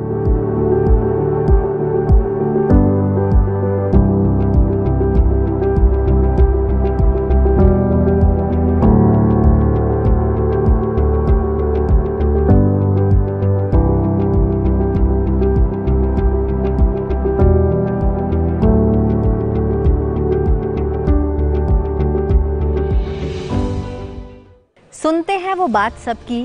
राज किसी किसी के आगे खोलते हैं। ये पत्थर हैं जनाब, और पत्थर भी बोलते हैं। नमस्कार, आप देख रहे हैं संसद टीवी, और आपके साथ मैं हूँ दीक्षा कोहली। इस वक्त हम मौजूद हैं संसद के नए भवन के सेंटर फॉयर एरिया में। इसे डायमंड एरिया भी कहा जाता है। ये एरिया इस भवन का बहुत खूबसूरत एरिया है। वैसे तो इस भवन का हर कोना बहुत खूबसूरत है, लेकिन जाने क्या है इस एरिया में? कि यहाँ की चमक ही निराली है। और इस चमक को चार चाँद लगाते हैं, यहाँ के पत्थर। आइए इस कार्यक्रम के माध्यम से जानते हैं इन पत्थरों की कहानी। ये पत्थर माइन से आए, कैसे ये प्रोसेस हुए, कैसे तय किया गया कि यही पत्थर यहाँ की शोभा बढ़ाएँगे। और वो कौन सी कंपनी है, जिसे ये काम मिला और कैसे उन्होंने डेडिकेटेडली इस काम को किया? और सही समय पर पूरा किया। आज हमारे साथ हैं गोल्ड फिंगर के डायरेक्टर फरीद शेख साहब। बहुत बहुत स्वागत है आपका सर। बहुत बहुत शुक्रिया।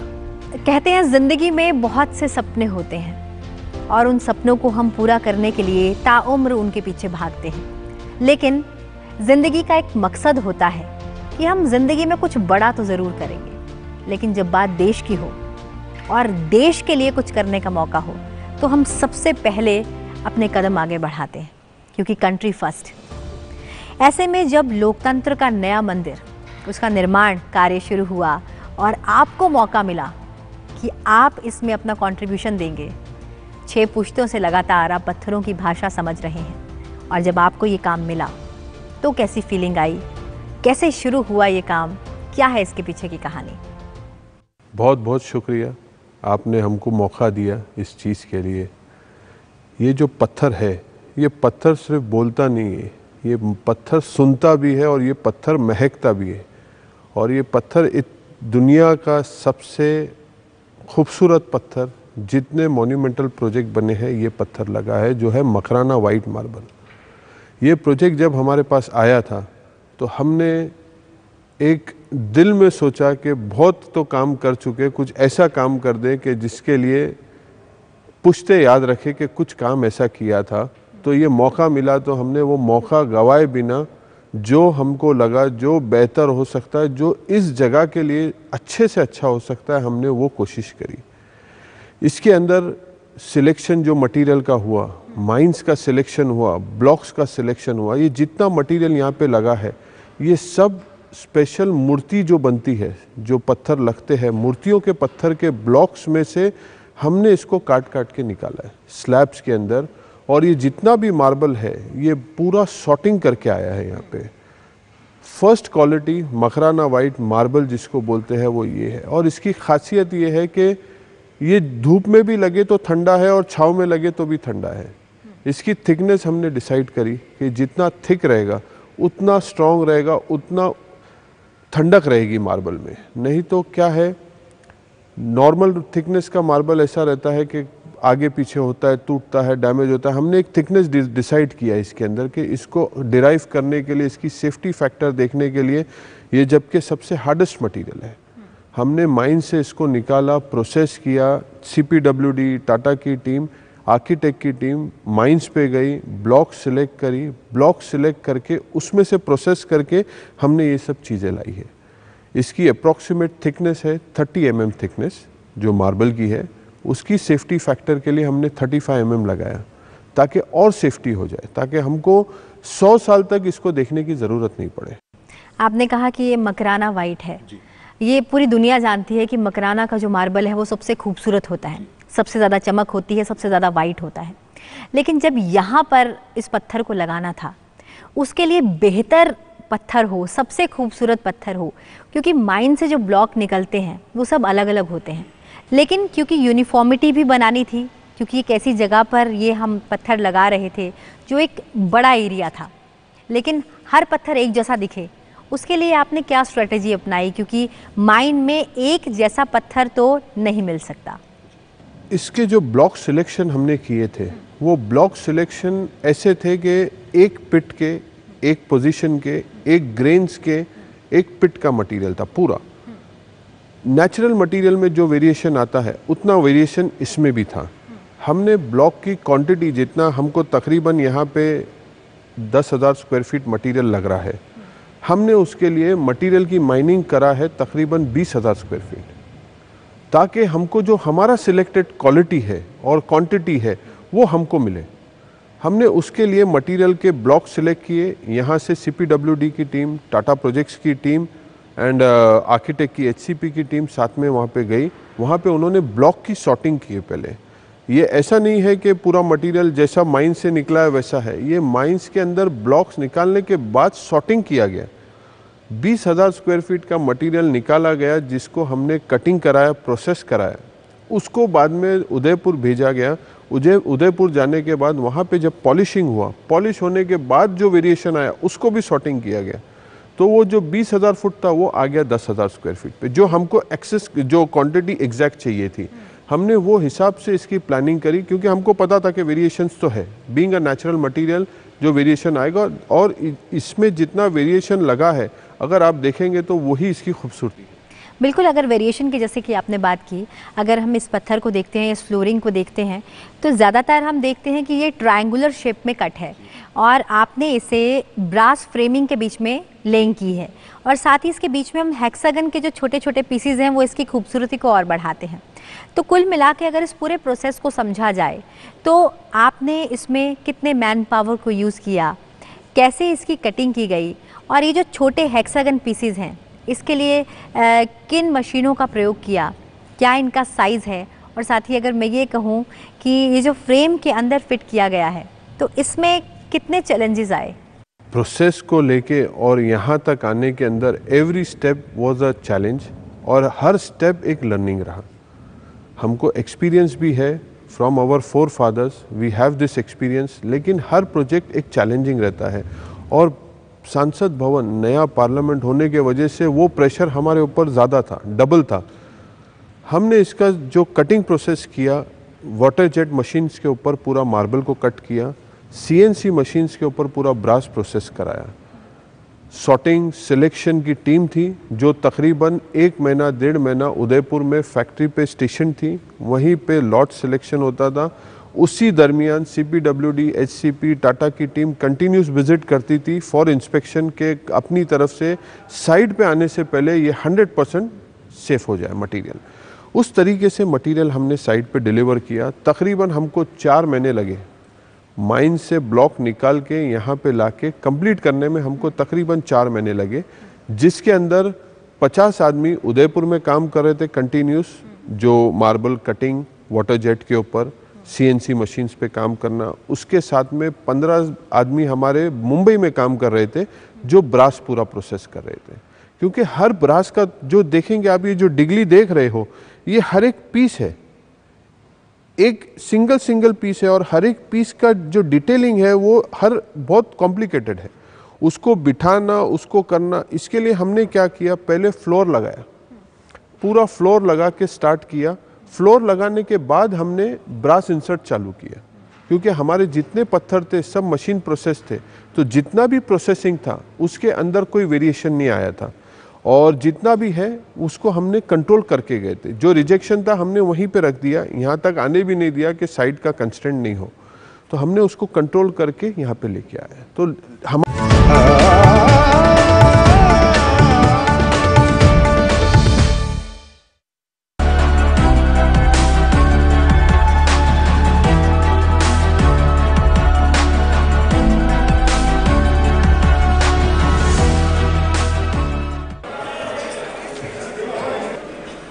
आदरणीय अध्यक्ष जी, नए संसद भवन का ये प्रथम और ऐतिहासिक सत्र है। मैं सभी मान्य सांसदों को और सभी देशवासियों को बहुत बहुत शुभकामनाएँ देता हूँ। आदरणीय अध्यक्ष जी आज प्रथम दिवस के प्रथम सत्र में, नए सदन में आपने मुझे बात रखने के लिए अवसर दिया है।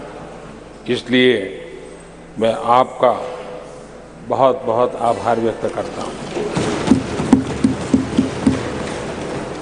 इस नए संसद भवन में मैं आप सभी माननीय सांसदों का भी हृदय से स्वागत करता हूँ। ये अवसर कई मायनों में अभूतपूर्व है। आज़ादी के अमृत काल का ये उषा काल है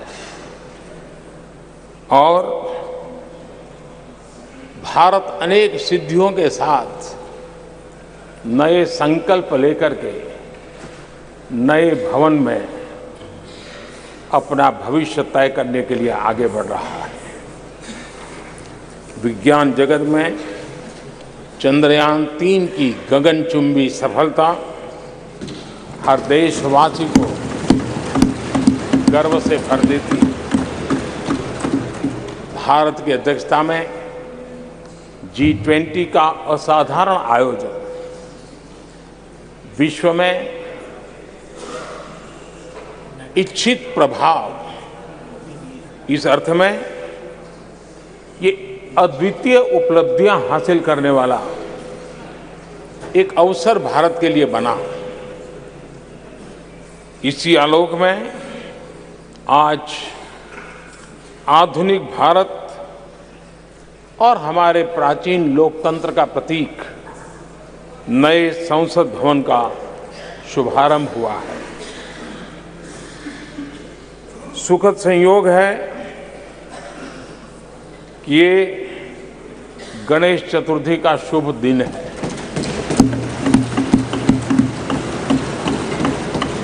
गणेश जी शुभता और सिद्धि के देवता है। गणेश जी विवेक और ज्ञान के भी देवता है। इस पावन दिवस पर हमारा ये शुभारंभ संकल्प से सिद्धि की ओर एक नए विश्वास के साथ यात्रा को आरंभ करने का है। आज़ादी के अमृत काल में हम जब नए संकल्पों को लेकर के चल रहे तब अब जब गणेश चतुर्थी का पर्व आज है तब लोकमान्य तिलक की याद आना बहुत स्वाभाविक है। आज़ादी के आंदोलन में लोकमान्य तिलक जी ने गणेश उत्सव को एक सार्वजनिक गणेश उत्सव के रूप में प्रस्तावित करके पूरे राष्ट्र में सुराज्य की आहलेख जगाने का माध्यम बनाया था। लोकमान्य तिलक जी ने गणेश पर्व से सुराज्य की संकल्पना को शक्ति दी। उसी प्रकार से आज ये गणेश चतुर्थी का पर्व लोकमान्य तिलक जी ने स्वतंत्र भारत, स्वराज्य की बात कही थी। आज हम समृद्ध भारत गणेश चतुर्थी के पावन दिवस पर उसकी प्रेरणा के साथ आगे बढ़ रहे हैं। सभी देशवासियों को इस अवसर पर फिर एक बार मैं बहुत बहुत बधाई देता हूँ। आदरणीय अध्यक्ष जी, आज संवत्सरी का भी पर्व है। ये अपने आप में एक अद्भुत परंपरा है।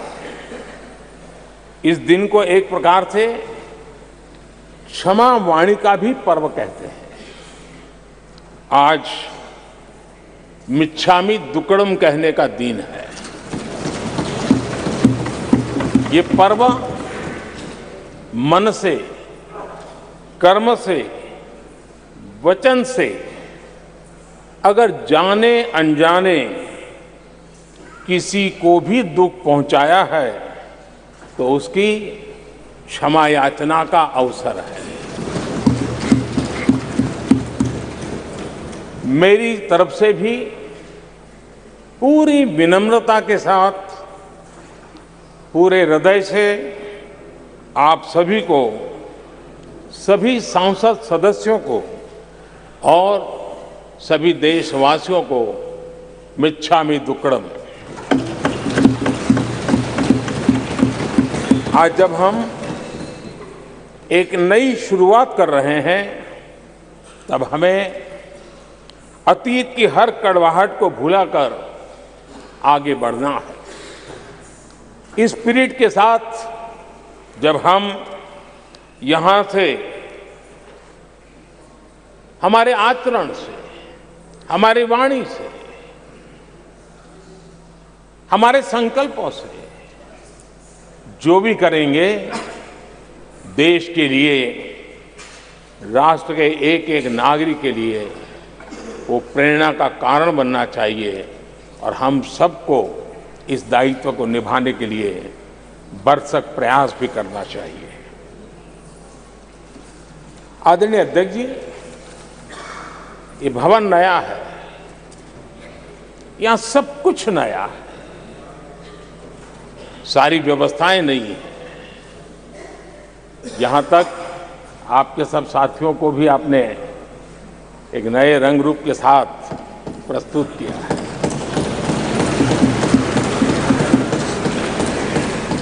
सब कुछ नया है, लेकिन यहाँ पर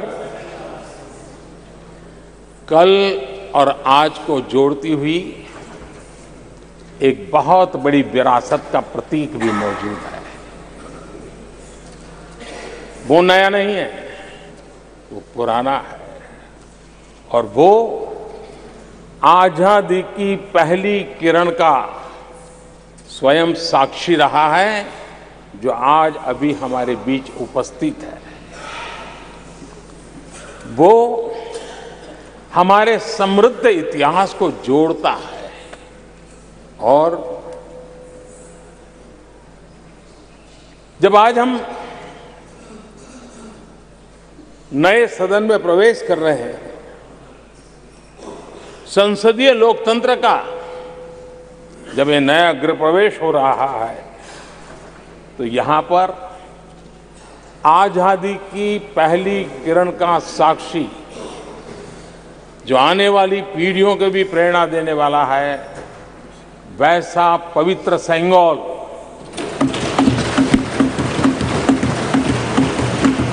और ये वो सेंगोल है जिसको भारत के प्रथम प्रधानमंत्री पंडित नेहरू का स्पर्श हुआ था। ये पंडित नेहरू के हाथों में पूजा विधि कर करके आज़ादी के पर्व का प्रारंभ हुआ था। और इसलिए एक बहुत महत्वपूर्ण अतीत को उसके साथ सेंगोल हमें जोड़ता है। तमिलनाडु की महान परंपरा का वो प्रतीक तो है ही। देश को जोड़ने का भी, देश की एकता का भी वो प्रतीक है। और हम सभी माननीय सांसदों को हमेशा जो पवित्र सेंगोल पंडित नेहरू के हाथ में शोभा देता था, वो आज हम सब की प्रेरणा का कारण बन रहा है। इससे बड़ा गर्व क्या हो सकता है? आदरणीय अध्यक्ष जी, नए संसद भवन की भव्यता आधुनिक भारत के महिमा को भी मंडित करती है। हमारे श्रमिक, हमारे इंजीनियर्स, हमारे कामगारों, उनका पसीना इसमें लगा है। और कोरोना काल में भी उन्होंने जिस लगन से इस काम को किया है, क्योंकि मुझे कार्य जब चल रहा था तब उन श्रमिकों के बीच आने का बार बार मौका मिलता था। और ख़ास करके मैं उनके स्वास्थ्य को लेकर के उनसे मिलने आता था। लेकिन ऐसे समय भी उन्होंने इस बहुत बड़े सपने को पूरा किया। आज मैं चाहूँगा कि हम सब, हमारे उन श्रमिकों का, हमारे उन कामगारों का, हमारे इंजीनियर्स का हृदय से धन्यवाद करें। हृदय से, क्योंकि उनके द्वारा निर्मित भावी पीढ़ियों को प्रेरणा देने वाला है। और तीस हज़ार से ज़्यादा श्रमिक बंधुओं ने परिश्रम किया है, पसीना बहाया है इस भव्य व्यवस्था को खड़ी करने के लिए और कई पीढ़ियों के लिए ये बहुत बड़ा योगदान है। मैंने अध्यक्ष जी, मैं उन श्रमयोगियों का नमन तो करता ही। लेकिन एक नई परंपरा का प्रारंभ हो रहा है। इसका मुझे अत्यंत आनंद है। इस सदन में एक डिजिटल बुक रखी गई है। जिस डिजिटल बुक में उन सभी श्रमिकों के पूरा परिचय इसमें रखा गया है, ताकि आने वाली पीढ़ियों को पता चलेगा कि हिंदुस्तान के किस कोने से कौन श्रमिक ने आकर के इस भव्य इमारत को यानी उनके पसीने को भी अमरत्व देने का प्रयास इस सदन में हो रहा है। ये एक नई शुरुआत है, शुभ शुरुआत है और हम सब के लिए गर्व की शुरुआत है। मैं इस अवसर पर 140 करोड़ देशवासियों की तरफ़ से, मैं इस अवसर पर लोकतंत्र की महान परंपरा की तरफ़ से, हमारे इन श्रमिकों का अभिनंदन करता हूँ। आदरणीय अध्यक्ष जी, हमारे यहाँ कहा जाता है, यद भावो तद भवती। और इसलिए हमारा भाव जैसा होता है, वैसे ही कुछ घटित होता है। यद भावो तद भवती। और इसलिए हम जैसी भावना कर करते हैं और हम जैसी भावना करके के प्रवेश किया है। मुझे विश्वास है, भावना भीतर जो होगी, हम भी वैसे ही खुद भी बनते जाएँगे। और वो बहुत बड़ी स्वाभाविक है। भवन बदला है। मैं चाहूँगा, भाव भी बदलना चाहिए, भावना भी बदलनी चाहिए।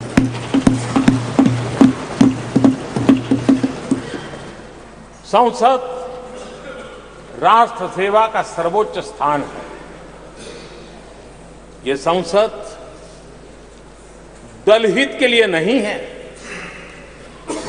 हमारे संविधान निर्माताओं ने इतनी पवित्र संस्था का निर्माण दल हित के लिए नहीं, सिर्फ़ और सिर्फ़ देश हित के लिए किया।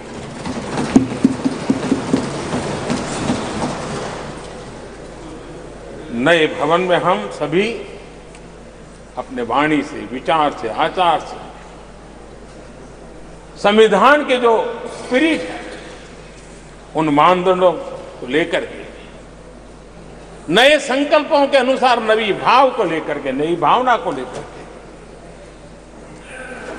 मैं आशा करता हूँ, अध्यक्ष जी, आप कल भी कह रहे थे, आज भी कह रहे थे कभी स्पष्ट कह रहे थे, कभी थोड़ा लपेट कर भी कह रहे थे। हम सांसदों के व्यवहार के संबंध में। मैं मेरी तरफ़ से आपको आश्वासन देता हूँ कि हमारा पूरा प्रयास रहेगा और मैं चाहूँगा कि सदन के नेता के नाते हम सभी सांसद आपकी आशा अपेक्षा में खरे उतरें। हम अनुशासन का पालन करें। देश हमें देखता है। आप जैसा दिशा निर्देश करें। लेकिन माननीय अध्यक्ष जी, अभी चुनाव तो दूर है। और जितना समय हमारे पास बचा है, इस पार्लियामेंट के मैं पक्का मानता हूँ कि यहाँ जो व्यवहार होगा, ये निर्धारित करेगा कि कौन यहाँ बैठने के लिए व्यवहार करता है और कौन वहाँ बैठने के लिए व्यवहार करता है। जो वहाँ ही बैठे रहना चाहता है, उसका व्यवहार क्या होगा? और जहाँ, जो यहाँ आकर के भविष्य में बैठना चाहता है, उसका व्यवहार क्या होगा? इसका फ़र्क बिल्कुल आने वाले महीनों में देश देखेगा और उनके बर्ताव से पता चलेगा, ये मुझे पूरा विश्वास है। आदरणीय अध्यक्ष जी, हमारे यहाँ वेदों में कहा गया है सम्यच सब्रता भूतवा वाचम वदत भद्रया। अर्थात हम सब एक मत होकर एक समान संकल्प लेकर कल्याण करी, सार्थक संवाद करें। यहाँ हमारे विचार अलग हो सकते हैं, विमर्श अलग हो सकते हैं, लेकिन हमारे संकल्प एकजुट ही होते हैं, एकजुट ही रहते हैं, और इसलिए हमें उसकी एकजुटता के लिए भी भरपूर प्रयास करता रहना चाहिए। आदरणीय अध्यक्ष जी, हमारी संसद ने राष्ट्रहित के तमाम बड़े अवसरों पर ही इसी भावना से काम किया है। न कोई इधर का है, न उधर का है, सब कोई राष्ट्र के लिए करते रहे। मुझे आशा है इस नई शुरुआत के साथ इस संवादीय के वातावरण में और इस संसद के पूरे डिबेट में हम उस भावना को जितनी ज़्यादा मज़बूत करेंगे, हमारी आने वाली पीढ़ियों को अवश्य हम प्रेरणा देंगे। संसदीय परंपराओं की जो लक्ष्मण रेखा है, उन लक्ष्मण रेखा का पालन हम सबको करना चाहिए और वो स्पीकर महोदय की अपेक्षा को हमें ज़रूर पूरा करने की कोशिश करनी चाहिए। आदरणीय अध्यक्ष जी, लोकतंत्र में राजनीति, नीति और शक्ति का इस्तेमाल, ये समाज में प्रभावी बदलाव का एक बहुत बड़ा माध्यम होता है। और इसलिए स्पेस हो या स्पोर्ट्स हो, स्टार्टअप्स हो या सेल्फ हेल्प ग्रुप हो, हर क्षेत्र में दुनिया भारतीय महिलाओं की ताकत देख रही है। जी ट्वेंटी की अध्यक्षता विमेन लेड डेवलपमेंट की चर्चा आज दुनिया इसका स्वागत कर रही है, स्वीकार कर रही है। दुनिया समझ रही है कि सिर्फ़ महिलाओं के विकास की बात इनप नहीं है। हमें मानव जात की विकास यात्रा में उस नए पड़ाव को अगर प्राप्त करना है, राष्ट्र के विकास यात्रा में हमने नई मंजिलों को पाना है। तो ये आवश्यक है कि विमेन लेड डेवलपमेंट को हम बल दें। और जी ट्वेंटी में भारत की इस बात को विश्व ने स्वीकार किया है। महिला सशक्तिकरण की हमारी हर योजना ने महिला नेतृत्व करने की दिशा में बहुत सार्थक कदम उठाए हैं। आर्थिक समावेश को ध्यान में रखते हुए जनधन योजना शुरू की। 50 करोड़ लाभार्थियों में से भी अधिकतम महिला बैंक अकाउंट के धारक बनी है। ये अपने आप में बहुत बड़ा परिवर्तन भी है, नया विश्वास देता है। जब मुद्रा योजना रखी, ये देश गर्व कर सकता है कि उसमें बिना बैंक गारंटी 10 लाख रुपए की लोन देने की योजना और उसका लाभ पूरे देश में सबसे ज़्यादा महिलाओं ने उठाया, महिला एंटरप्रेनर का एक पूरा वातावरण देश में नज़र आया। पीएम आवास योजना, पक्के घर, ये भी उसकी रजिस्ट्री ज़्यादातर महिलाओं के नाम हुई, महिलाओं का मालिकाना हक बना। आदरणीय अध्यक्ष जी, हर देश की विकास यात्रा में ऐसे माइलस्टोन आते हैं, जब वो गर्व से कहता है कि आज के दिन हम सबने नया इतिहास रचा है। ऐसे कुल पल जीवन में प्राप्त होते हैं।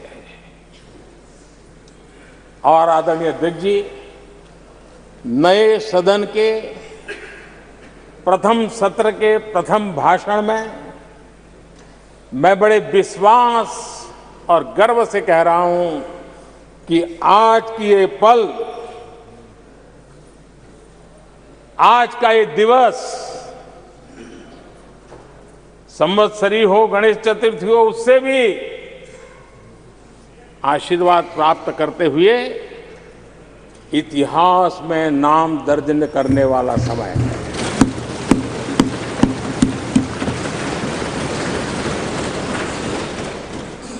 हम सबके लिए पल गर्व की पल है। अनेक वर्षों से महिला आरक्षण के संबंध में बहुत चर्चाएँ हुई हैं, बहुत वाद विवाद हुए हैं। महिला आरक्षण को लेकर संसद में पहले भी कुछ प्रयास हुए हैं।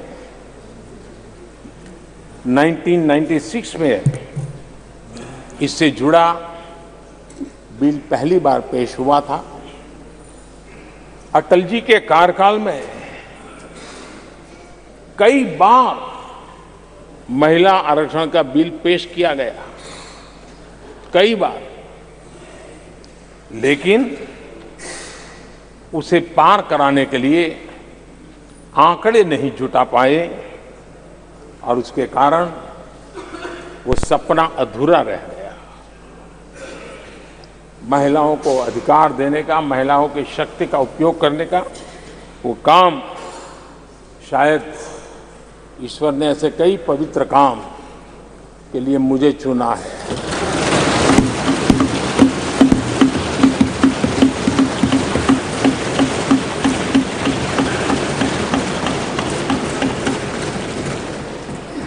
एक बार फिर हमारी सरकार ने इस दिशा में कदम बढ़ाया है। कल ही कैबिनेट में महिला आरक्षण वाला जो विधेयक है, उसको मंजूरी दी गई है।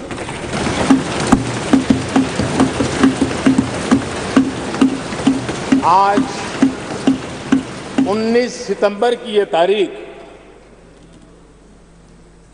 इसीलिए इतिहास में अमरत्व को प्राप्त करने जा रहे हैं।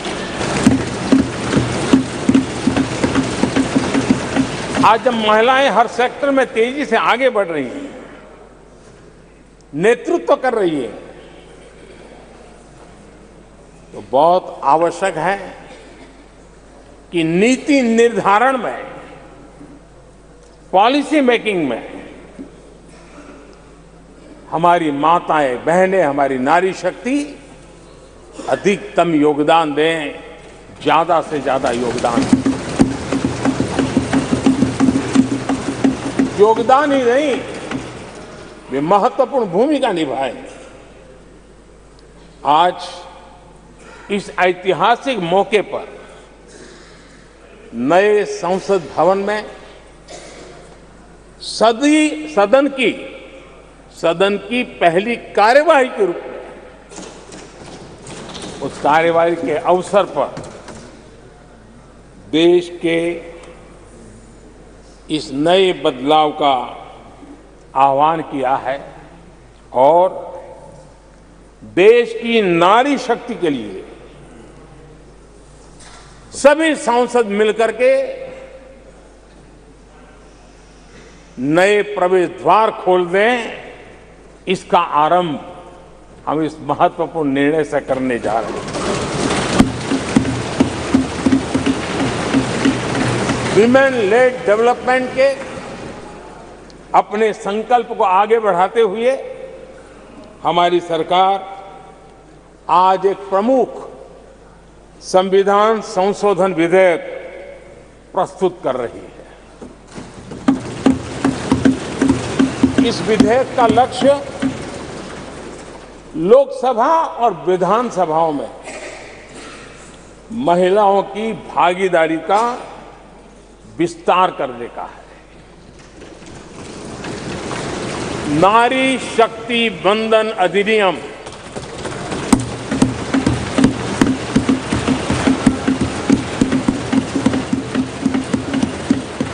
नारी शक्ति बंधन अधिनियम इसके माध्यम से हमारा लोकतंत्र और मज़बूत होगा। मैं देश की माताओं, बहनों, बेटियों को नारी शक्ति बंधन अधिनियम के लिए बहुत बहुत बधाई दूँगा। मैं सभी माताओं, बहनों, बेटियों को आश्वस्त करता हूँ कि हम इस बिल को कानून बनाने के लिए संकल्पबद्ध है।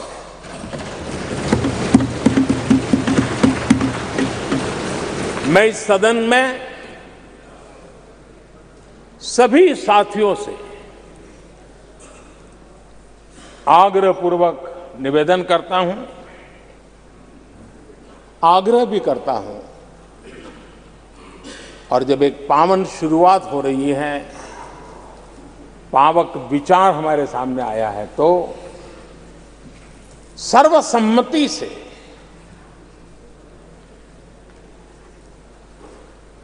जब ये बिल कानून बनेगा तो उसकी ताकत अनेक गुना बढ़ जाएगी।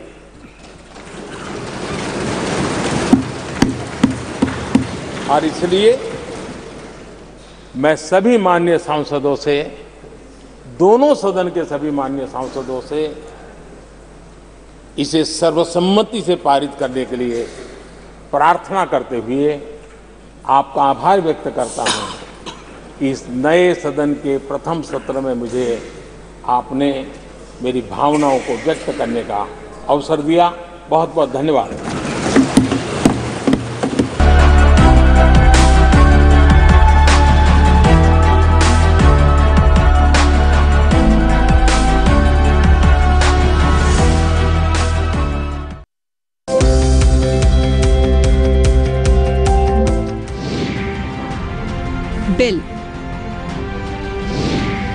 A draft of a legislative proposal put in the proper form, which, when passed by both the Houses of Parliament and assented to by the President, becomes an act. Business of the House. The relative order of all the items of business in the House of a legislature to be taken up on a particular day. Government business for a whole week is announced in advance in the House by the Minister for Parliamentary Affairs. Calling attention. A procedure whereby a member calls the attention of a minister to a matter of urgent public importance. The minister makes a brief statement thereon and thereafter the members seek clarifications. Legislative business Introduction, consideration, and passing of a bill piloted by a minister or a private member in the House.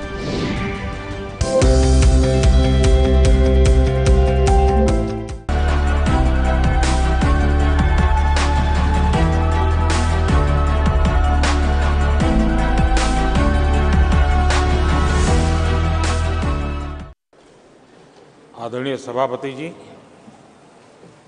हम सब के लिए आज का ये दिवस यादगार भी है, ऐतिहासिक भी है। इससे पहले मुझे लोकसभा में भी अपनी भावना को व्यक्त करने का अवसर मिला था। अब राज्यसभा में भी आज आपने मुझे अवसर दिया है। मैं आपका आभारी हूँ। आदरणीय सभापति जी, हमारे संविधान में राज्यसभा की परिकल्पना उच्च सदन के रूप में की गई है। संविधान निर्माताओं का ये आशय रहा है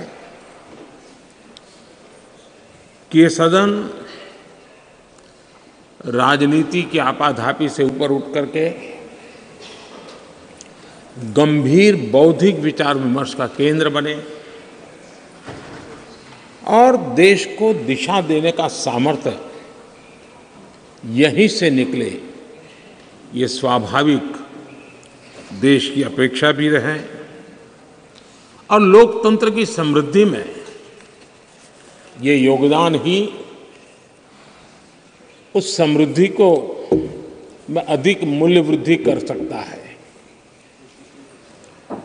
आदरणीय सभापति जी, इस सदन में अनेक महापुरुष रहे हैं। मैं सबका उल्लेख तो न कर पाऊँ, लेकिन लाल बहादुर शास्त्री जी हो,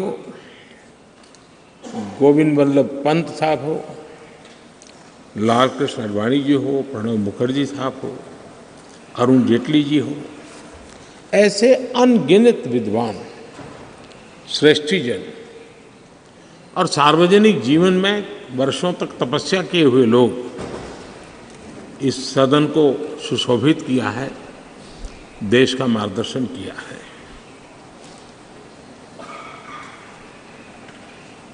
ऐसे कितने ही सदस्य जिन्होंने एक प्रकार से व्यक्ति स्वयं में एक संस्था के रहे एक इंडिपेंडेंट थिंक टैंक के रूप में। अपना सामर्थ्य देश को उसका लाभ देने वाले लोग भी हमें रहे। हैं संसदीय इतिहास के शुरुआती दिनों में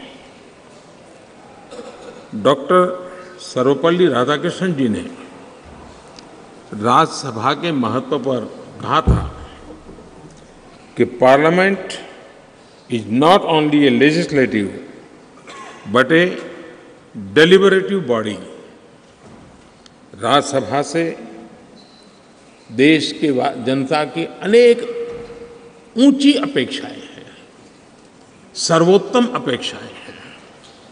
और इसलिए मान्य सदस्यों के बीच गंभीर विषयों की चर्चा और उसे सुनना, ये भी एक बहुत बड़ा सुखद अवसर होता है।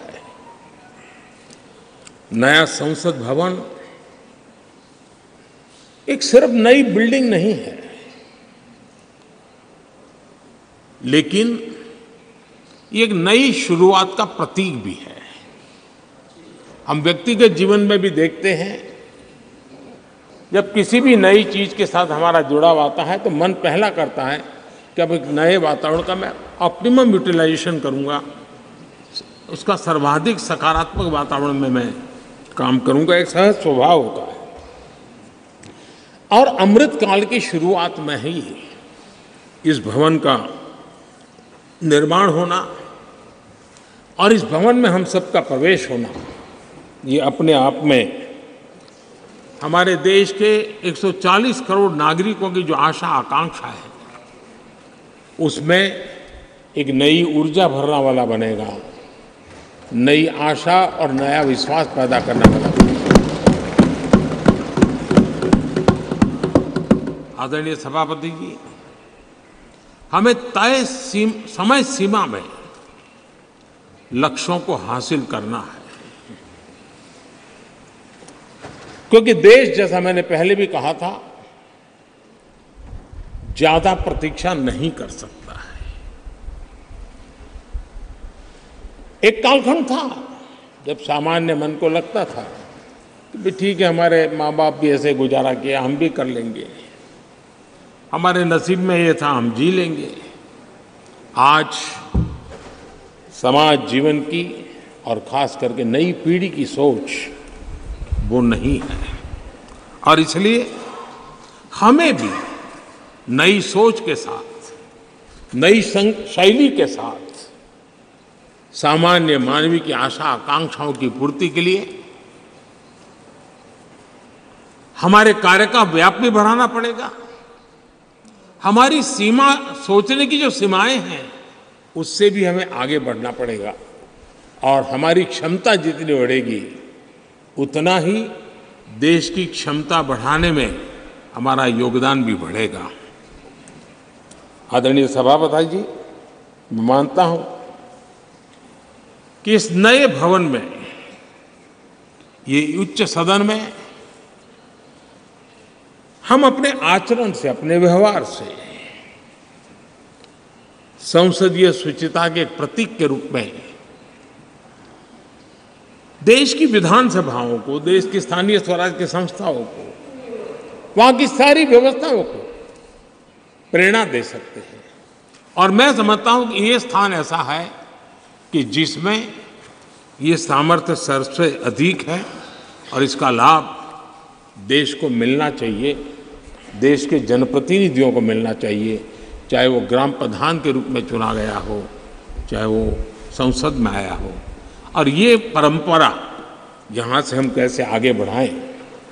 आदरणीय सभापति जी, पिछले नौ वर्ष से आप सबके साथ से, सहयोग से देश की सेवा करने का हमें मौका मिला। कई बड़े निर्णय करने के अवसर आए और बड़े महत्वपूर्ण निर्णयों पर फैसले भी हुए। और कई तो फैसले ऐसे थे जो दशकों से लटके हुए थे। उन फैसलों को भी और ऐसी निर्णय, ऐसी बातें थी जिसको बहुत कठिन माना जाता था, मुश्किल माना जाता था। और राजनीतिक दृष्टि से तो उसको स्पर्श करना भी बहुत ही गलत माना जाता था। लेकिन सबके बावजूद भी हमने उस दिशा में कुछ हिम्मत दिखाई। राज्यसभा में हमारे पास उतनी संख्या नहीं थी, लेकिन हमें एक विश्वास था। कि राज्यसभा दलगत सोच से ऊपर उठ करके देश हित में ज़रूर अपने फैसले लेगी। और मैं आज बड़े संतोष के साथ कह सकता हूँ कि उदार सोच के परिणाम हमारे पास संख्या बल कम होने के बावजूद भी आप सभी माननीय सांसदों की मैच्योरिटी के कारण, समझ के कारण, राष्ट्रहित के प्रति अपनी जिम्मेवारी के कारण, आप सबके सहयोग से हम कई ऐसे कठिन निर्णय भी कर पाए और राज्यसभा की गरिमा को ऊपर उठाने का काम सदस्य संख्या के बल पर नहीं, समझदारी के सामर्थ्य पर आगे बढ़ा। इससे बड़ा संतोष क्या हो सकता है? और इसलिए मैं सदन के सभी माननीय सांसदों का जो आज वह हैं, जो इसके पहले थे, उन सब का धन्यवाद करता हूँ। आदरणीय सभापति जी, लोकतंत्र में कौन शासन में आएगा, कौन नहीं आएगा, कौन कब आएगा, ये क्रम चलता रहता है। वो बहुत स्वाभाविक भी है। और वो लोकतंत्र की स्वाभाविक उसकी प्रकृति और प्रवृत्ति भी है। लेकिन जब भी विषय देश के लिए सामने आए, हम सबने मिल करके राजनीति से ऊपर उठ करके देश के हितों को सर्वोपरि रखते हुए कार्य करने का प्रयास किया है।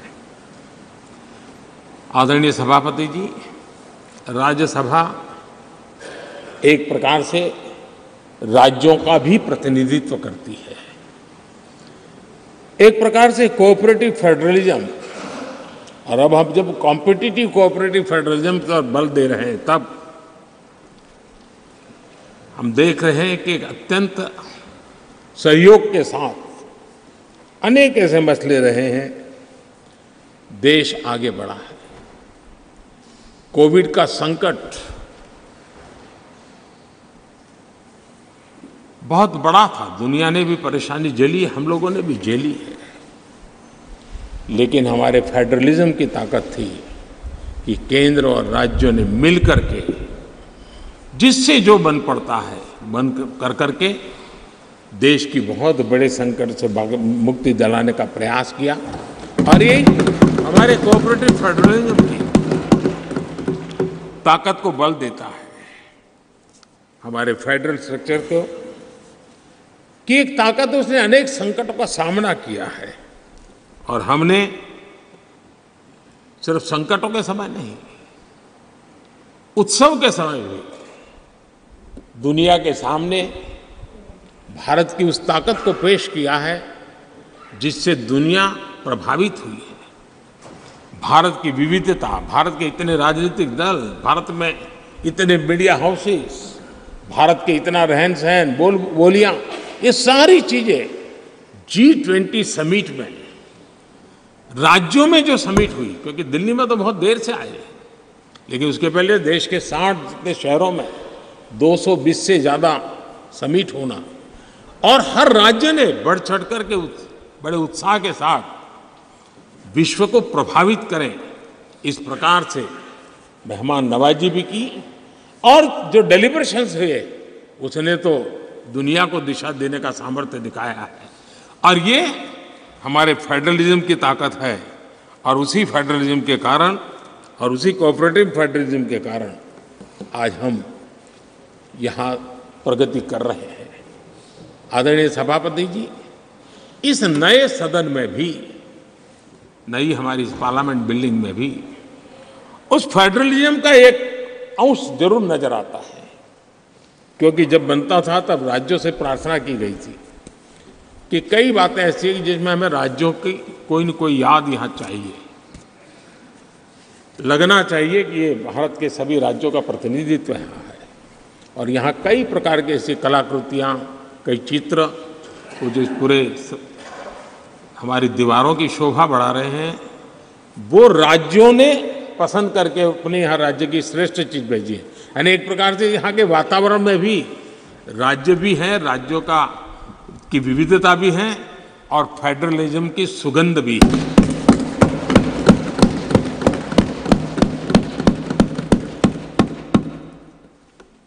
आदरणीय सभापति जी टेक्नोलॉजी ने जीवन को बहुत तेज़ी से प्रभावित किया है। पहले जो टेक्नोलॉजी में बदलाव आते में पाँच, पचास पचास साल लग जाते थे, वो आजकल कुछ हफ्तों में आ जाते हैं।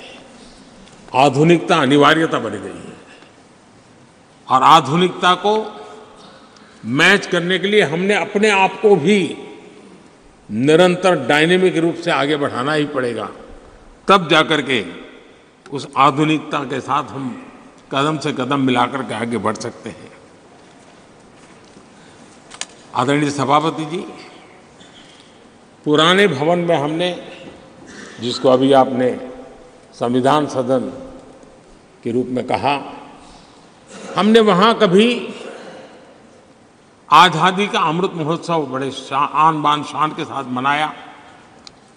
पचहत्तर साल का हमारी यात्रा की तरफ़ हमने देखा भी, और नई दिशा, नया संकल्प करने का प्रयास भी शुरू किया है। लेकिन मुझे पूरा विश्वास है कि नए संसद भवन में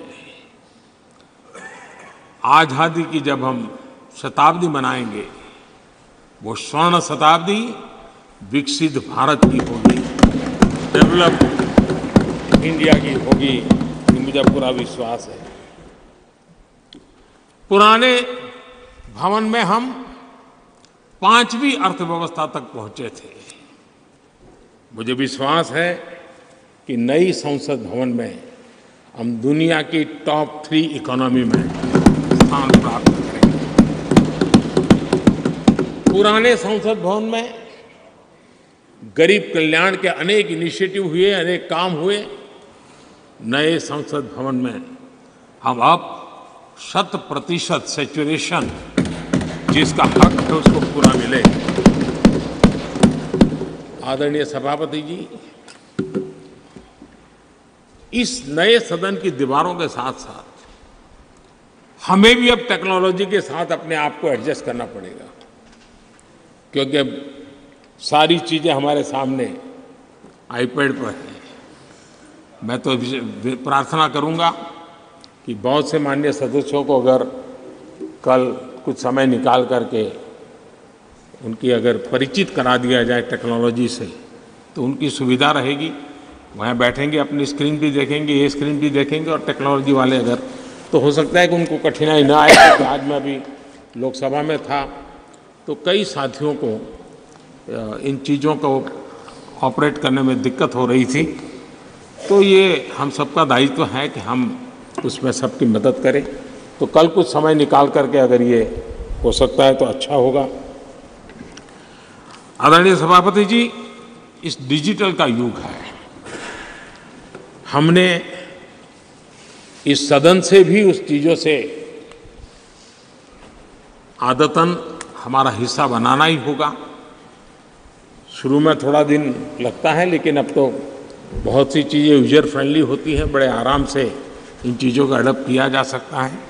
हम इसको करें। Make in India. एक प्रकार से ग्लोबली गेम चेंजर के रूप में हमने इसका भरपूर फ़ायदा उठाना और मैंने कहा, वैसे नई सोच, नया उत्साह, नया उमंग, नई ऊर्जा के साथ हम आगे बढ़कर के कर सकते हैं। आदरणीय सभापति जी आज नया संसद भवन देश के लिए एक महत्वपूर्ण ऐतिहासिक फैसले का साक्षी बन रहा है। अभी पार्लियामेंट लोकसभा में एक बिल प्रस्तुत किया गया है। वहाँ पर चर्चा होने के बाद यहाँ भी आएगा। नारी शक्ति के सशक्तिकरण की दिशा में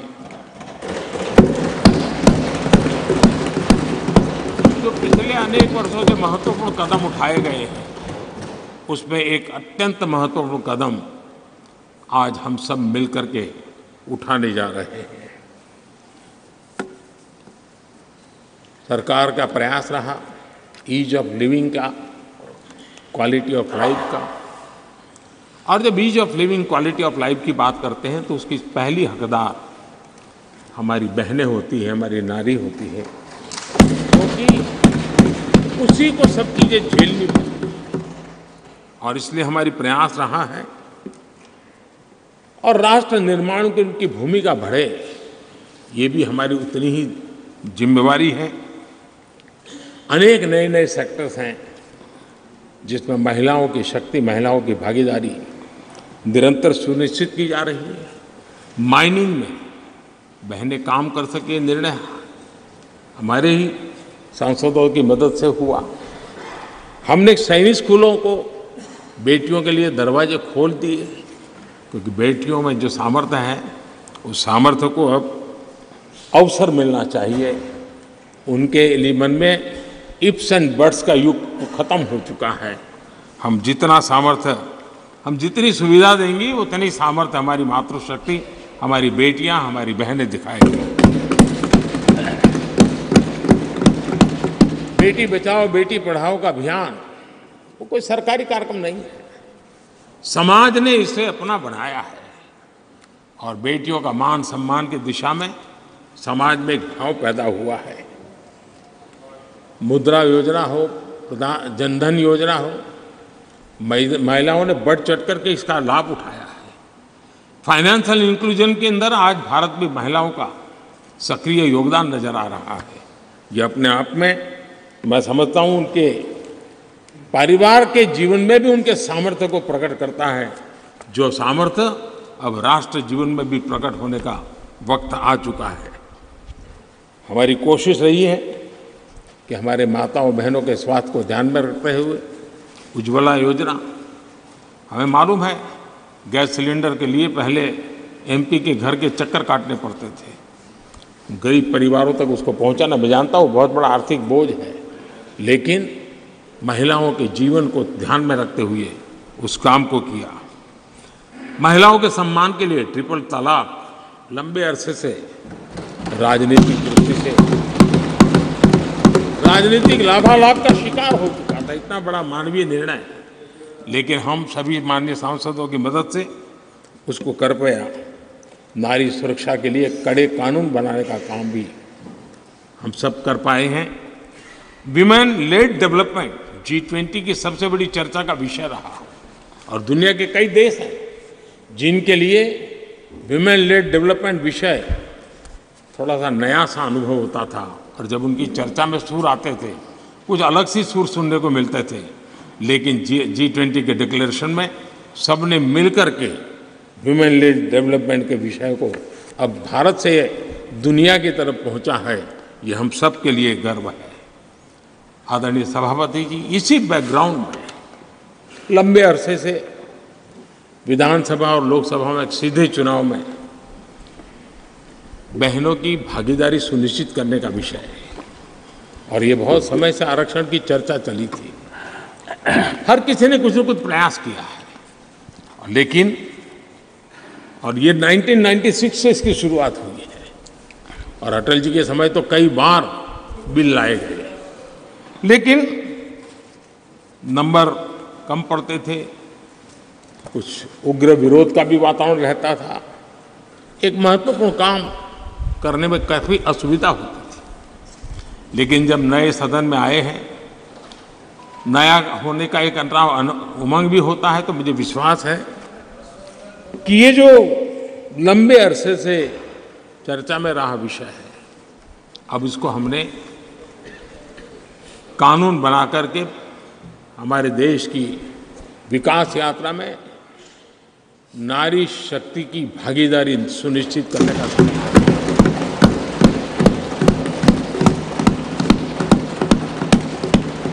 और इसलिए नारी शक्ति बंधन अधिनियम, नारी शक्ति बंधन अधिनियम संविधान संशोधन के रूप में लाने का सरकार का विचार है, जिसको आज लोकसभा में रखा गया है।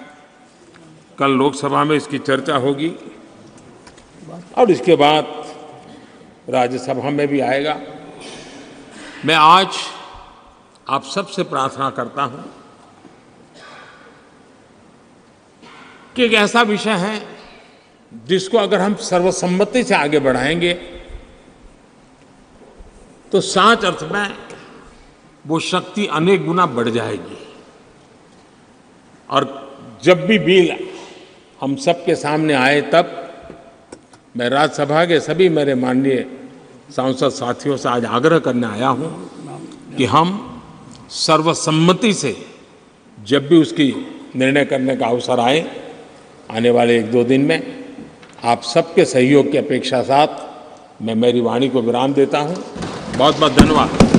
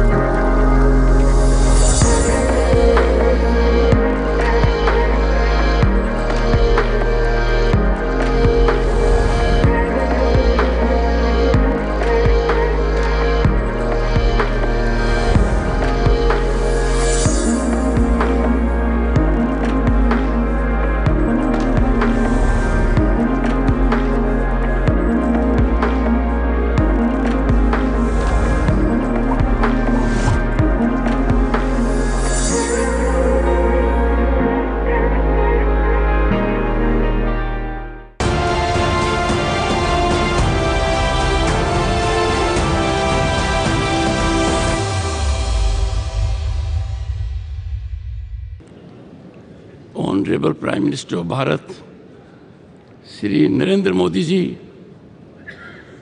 honourable speaker Lok Sabha, Shri Om Birla ji, Shri Prahlad Joshi ji, union minister of parliamentary affairs, Shri Piyush Goyal ji, leader of house Rajya Sabha, honourable ministers, Shri Adhir Ranjan Chowdhury, leader of opposition in Lok Sabha Shri Mallikarjun खड़गे ji leader of opposition Rajya Sabha honourable deputy chairman Rajya Sabha and honourable members of parliament Ganesh Chaturthi की सभी को हार्दिक शुभकामनाएँ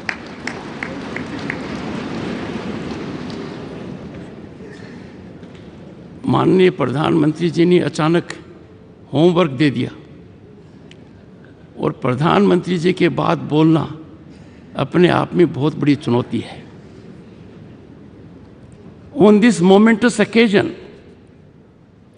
as we stand on the threshold of adding a new chapter to the annals of our parliamentary democracy I congratulate you all on our phenomenal rise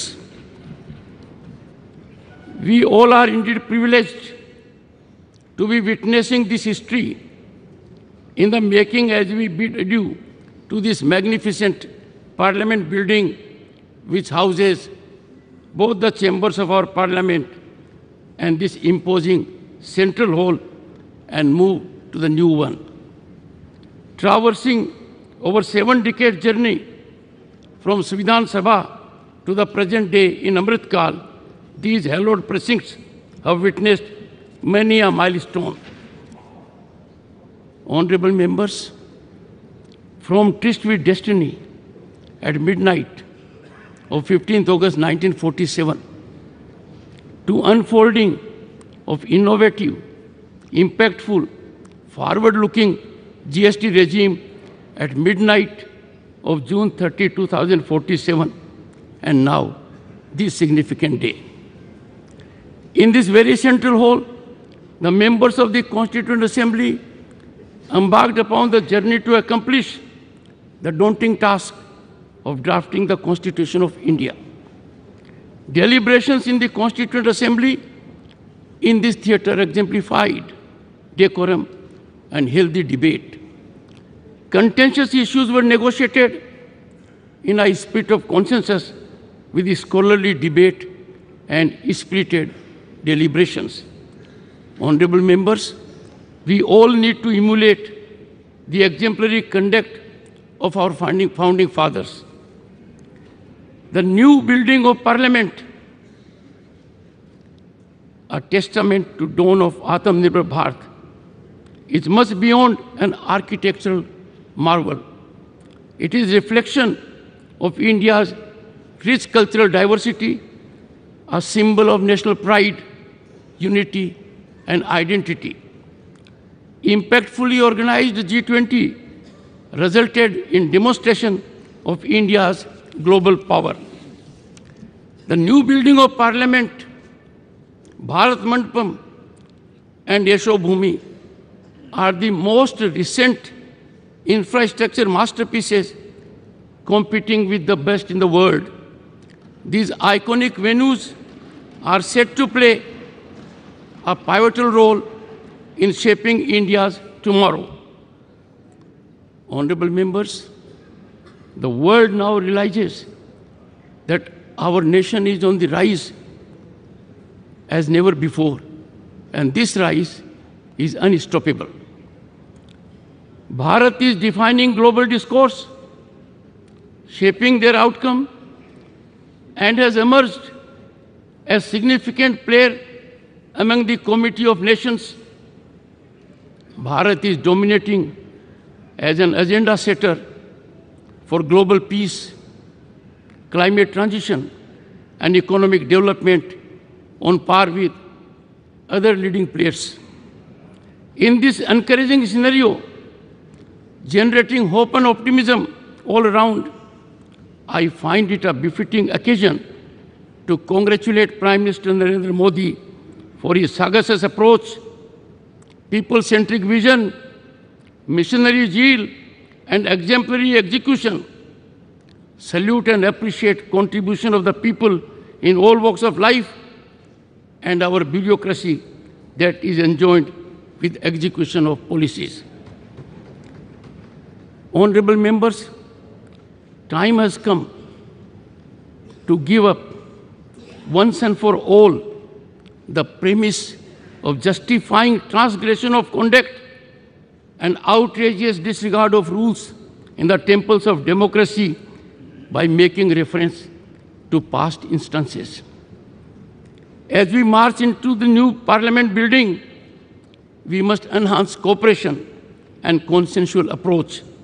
Time for us to bid farewell to confrontational stance and resolve to ever keep national interest uppermost. Honorable members, it is time, right time, to bury the strategy of weaponizing disturbance and disruption in parliamentary functioning, as these are antithetical to democratic values and can never have sanction of our people who are our ultimate masters. I would like to quote Dr. B.R. Ambedkar, who in his final speech in the Constituent Assembly stated, I quote, if we wish to maintain democracy, not merely in form, but also in fact, what must we do? The first thing in my judgment we must do is to hold fast to constitutional methods of achieving our social and economic objectives, unquote. Let us heed his clarion call. On this decisive moment, as we are witnessing the transformation of Bharat, appreciations to Prime Minister Narendra Modi vision and sagacity for fructifying tryst with modernity. We had tryst with destiny in 1947. We are lucky and fortunate by efforts of the Prime Minister that we are having today tryst with modernity for over a billion hearts. His role in this monu- monumental task of shaping the destiny, destiny of one-sixth of humanity would forever be etched in history. Honorable members, this historic walk to the new building of Parliament in Amritkal be the march to Bharat at 2047 as developed nation. Let us in togetherness make the new chambers of the Parliament the sanctum sanctorum of our temple of democracy. Jai Hind.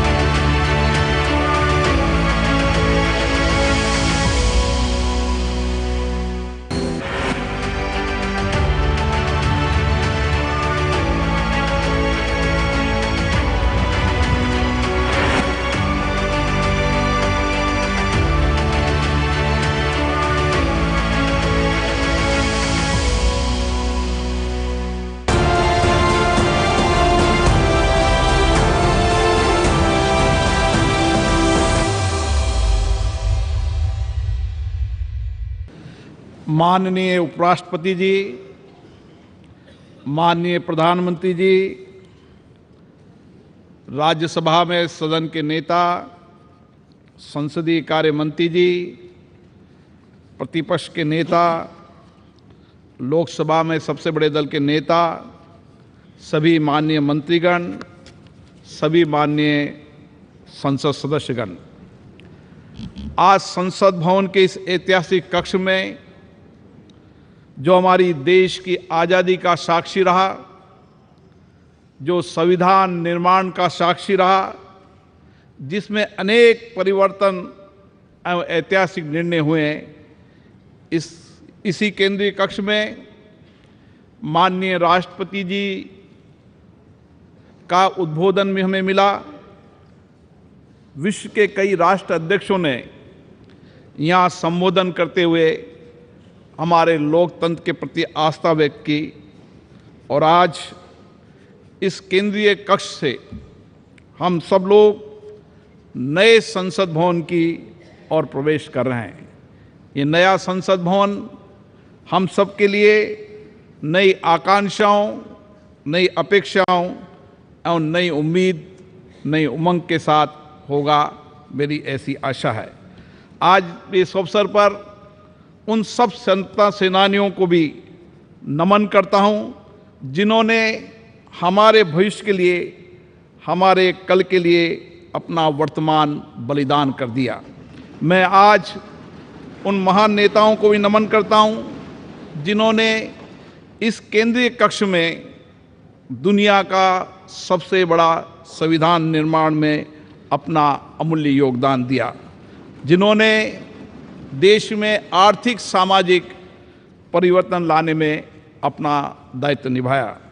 आज हम उन सभी मान्य सदस्यों को भी स्मरण कर रहे हैं, याद कर रहे हैं, जो हमारे बीच में नहीं रहे, लेकिन जिन्होंने अपने संवैधानिक दायित्वों का निर्वहन करते हुए देश की प्रगति में योगदान दिया।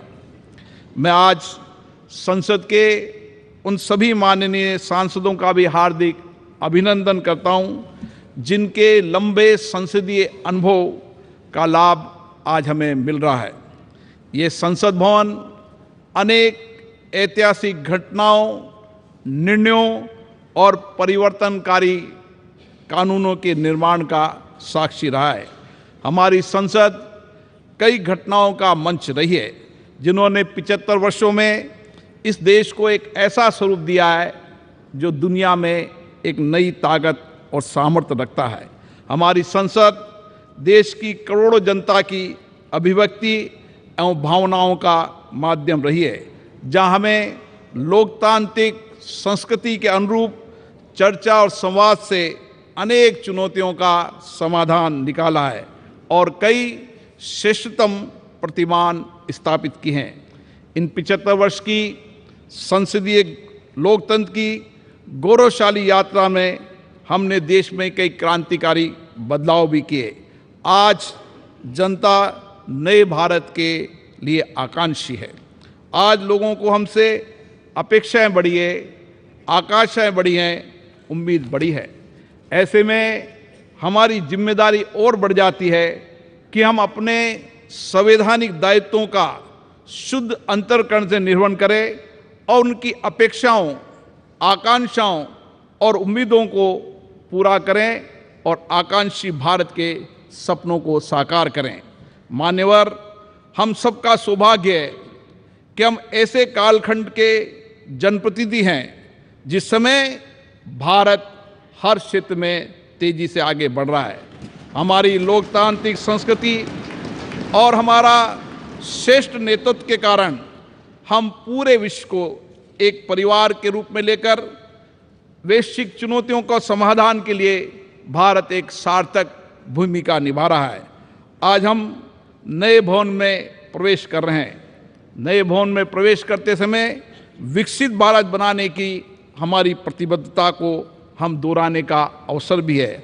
हमारा संकल्प है कि हम इसी संसदीय लोकतंत्र से सामूहिक चर्चा, संवाद, सहमति, असहमति और कठिन परिश्रम से सारे देश की जन भागीदारी के साथ इन आकांक्षाओं को पूरा करेंगे। विश्व के सबसे बड़े संसदीय लोकतंत्र होने के नाते हमारी ज़िम्मेदारी और बढ़ जाती है।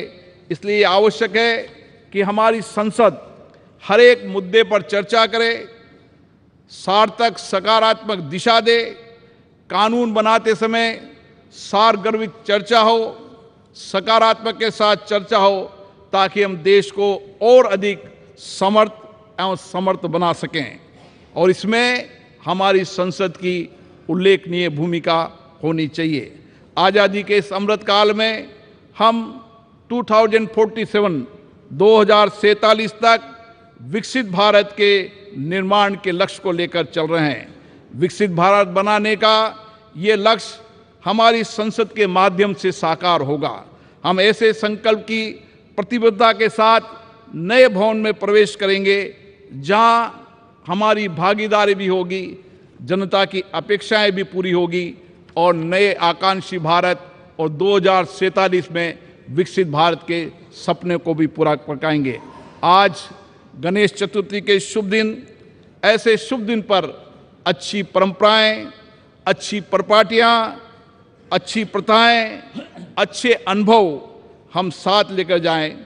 और नए संसद भवन में उनको स्थापित करें, ताकि विश्व के लिए भारत का लोकतंत्र मार्गदर्शक बन सके।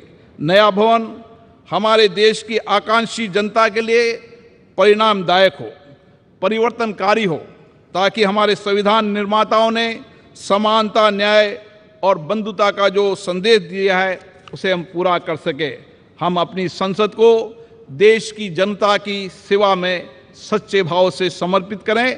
इसी अपेक्षा के साथ मैं पुनः इस भवन को, उन सब लोगों को, जिनका इस लोकतंत्र को स्थापित करने में, लोकतंत्र की मर्यादा प्रतिष्ठा बढ़ाने में योगदान रहा, उन सबको भी नमन करता हूँ। धन्यवाद।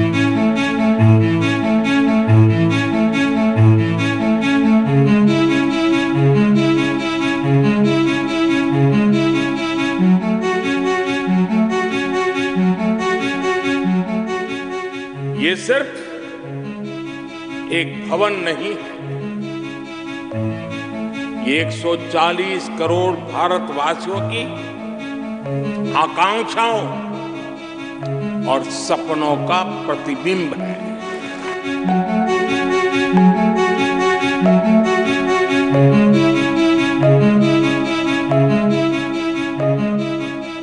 ये नया संसद भवन योजना को यथार्थ से,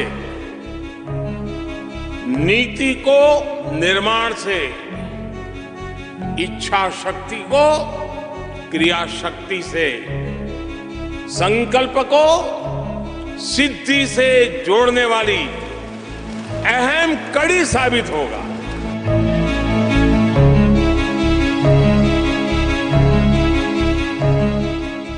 ये नया संसद भवन इस विश्वास को नई बुलंदी देने वाला है ये विकसित भारत के निर्माण में हम सभी के लिए नई प्रेरणा बनेगा ये संसद भवन हर भारतीय के कर्तव्य भाव को जागृत करेगा।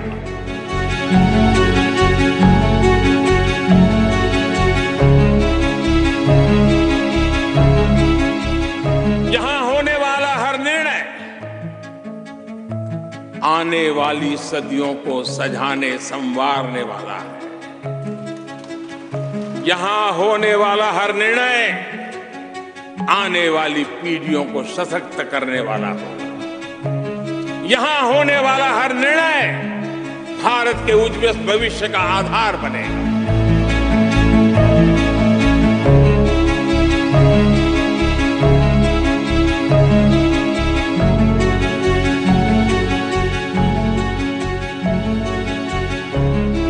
इस नए संसद भवन की हर ईंट हर दीवार, इसका कण कण गरीब के कल्याण के लिए समर्पित।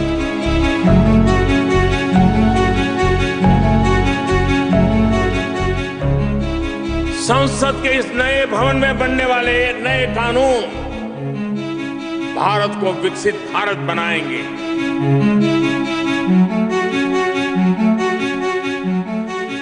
इस संसद में बनने वाले कानून भारत को गरीबी से बाहर निकालने में मदद करेंगे।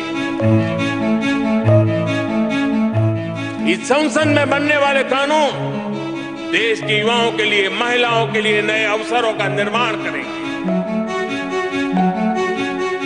संसद का यह नया भवन नए भारत के सृजन का आधार बनेगा।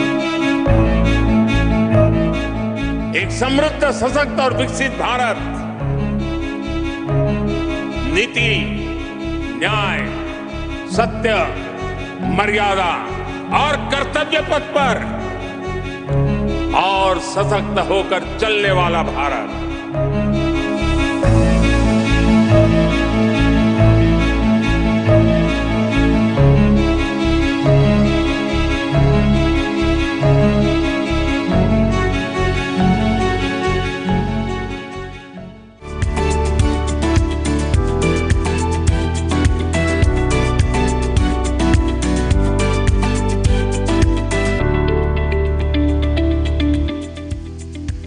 संविधान में निहित मौलिक कर्तव्यों का उद्देश्य देश के प्रत्येक नागरिक को एक निरंतर अनुस्मारक यानी कि रिमाइंडर के रूप में यह बताना है कि संविधान ने विशेष रूप से उन्हें कुछ मौलिक अधिकार प्रदान किए हैं। लेकिन नागरिकों को लोकतांत्रिक आचरण और लोकतांत्रिक व्यवहार के बुनियादी मानदंडों का पालन करने की भी आवश्यकता है। आइए आपको बताते हैं 11 मौलिक कर्तव्यों में से दूसरा कर्तव्य कौन सा है। दूसरा कर्तव्य है स्वतंत्रता के लिए राष्ट्रीय आंदोलन को प्रेरित करने वाले उच्च आदर्शों को हृदय में संजोए रखें और उनका पालन करें। हमारा देश इस वक्त अमृतकाल मना रहा है।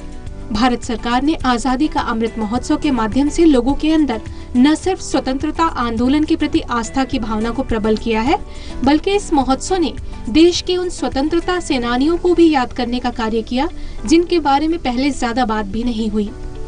प्रधानमंत्री ने कई बार कर्तव्यों के इस महत्व को रेखांकित किया है। शास्त्रों के उदाहरण से वे इस बात को समझाते भी हैं। हमारे यहाँ सदियों से शास्त्रों में बार बार इस बात का ज़िक्र किया जाता है, आत्मन प्रतिकुलानी परेशान न समाचारित, यानी जो अपने लिए प्रतिकूल हो, वो व्यवहार दूसरे किसी भी व्यक्ति के साथ न करें। इसका अर्थ यही है कि मानव अधिकार केवल अधिकारों से नहीं जुड़ा, बल्कि ये हमारे कर्तव्यों का विषय भी है।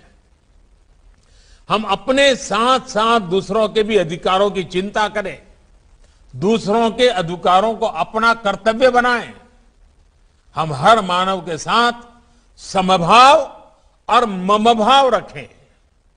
जब समाज में ये सहजता आ जाती है तो मानव अधिकार हमारे समाज का जीवन मूल्य बन जाता है। अधिकार और कर्तव्य, ये दो ऐसी पटरियाँ हैं, जिन पर मानव विकास और मानव गरिमा की यात्रा आगे बढ़ती है।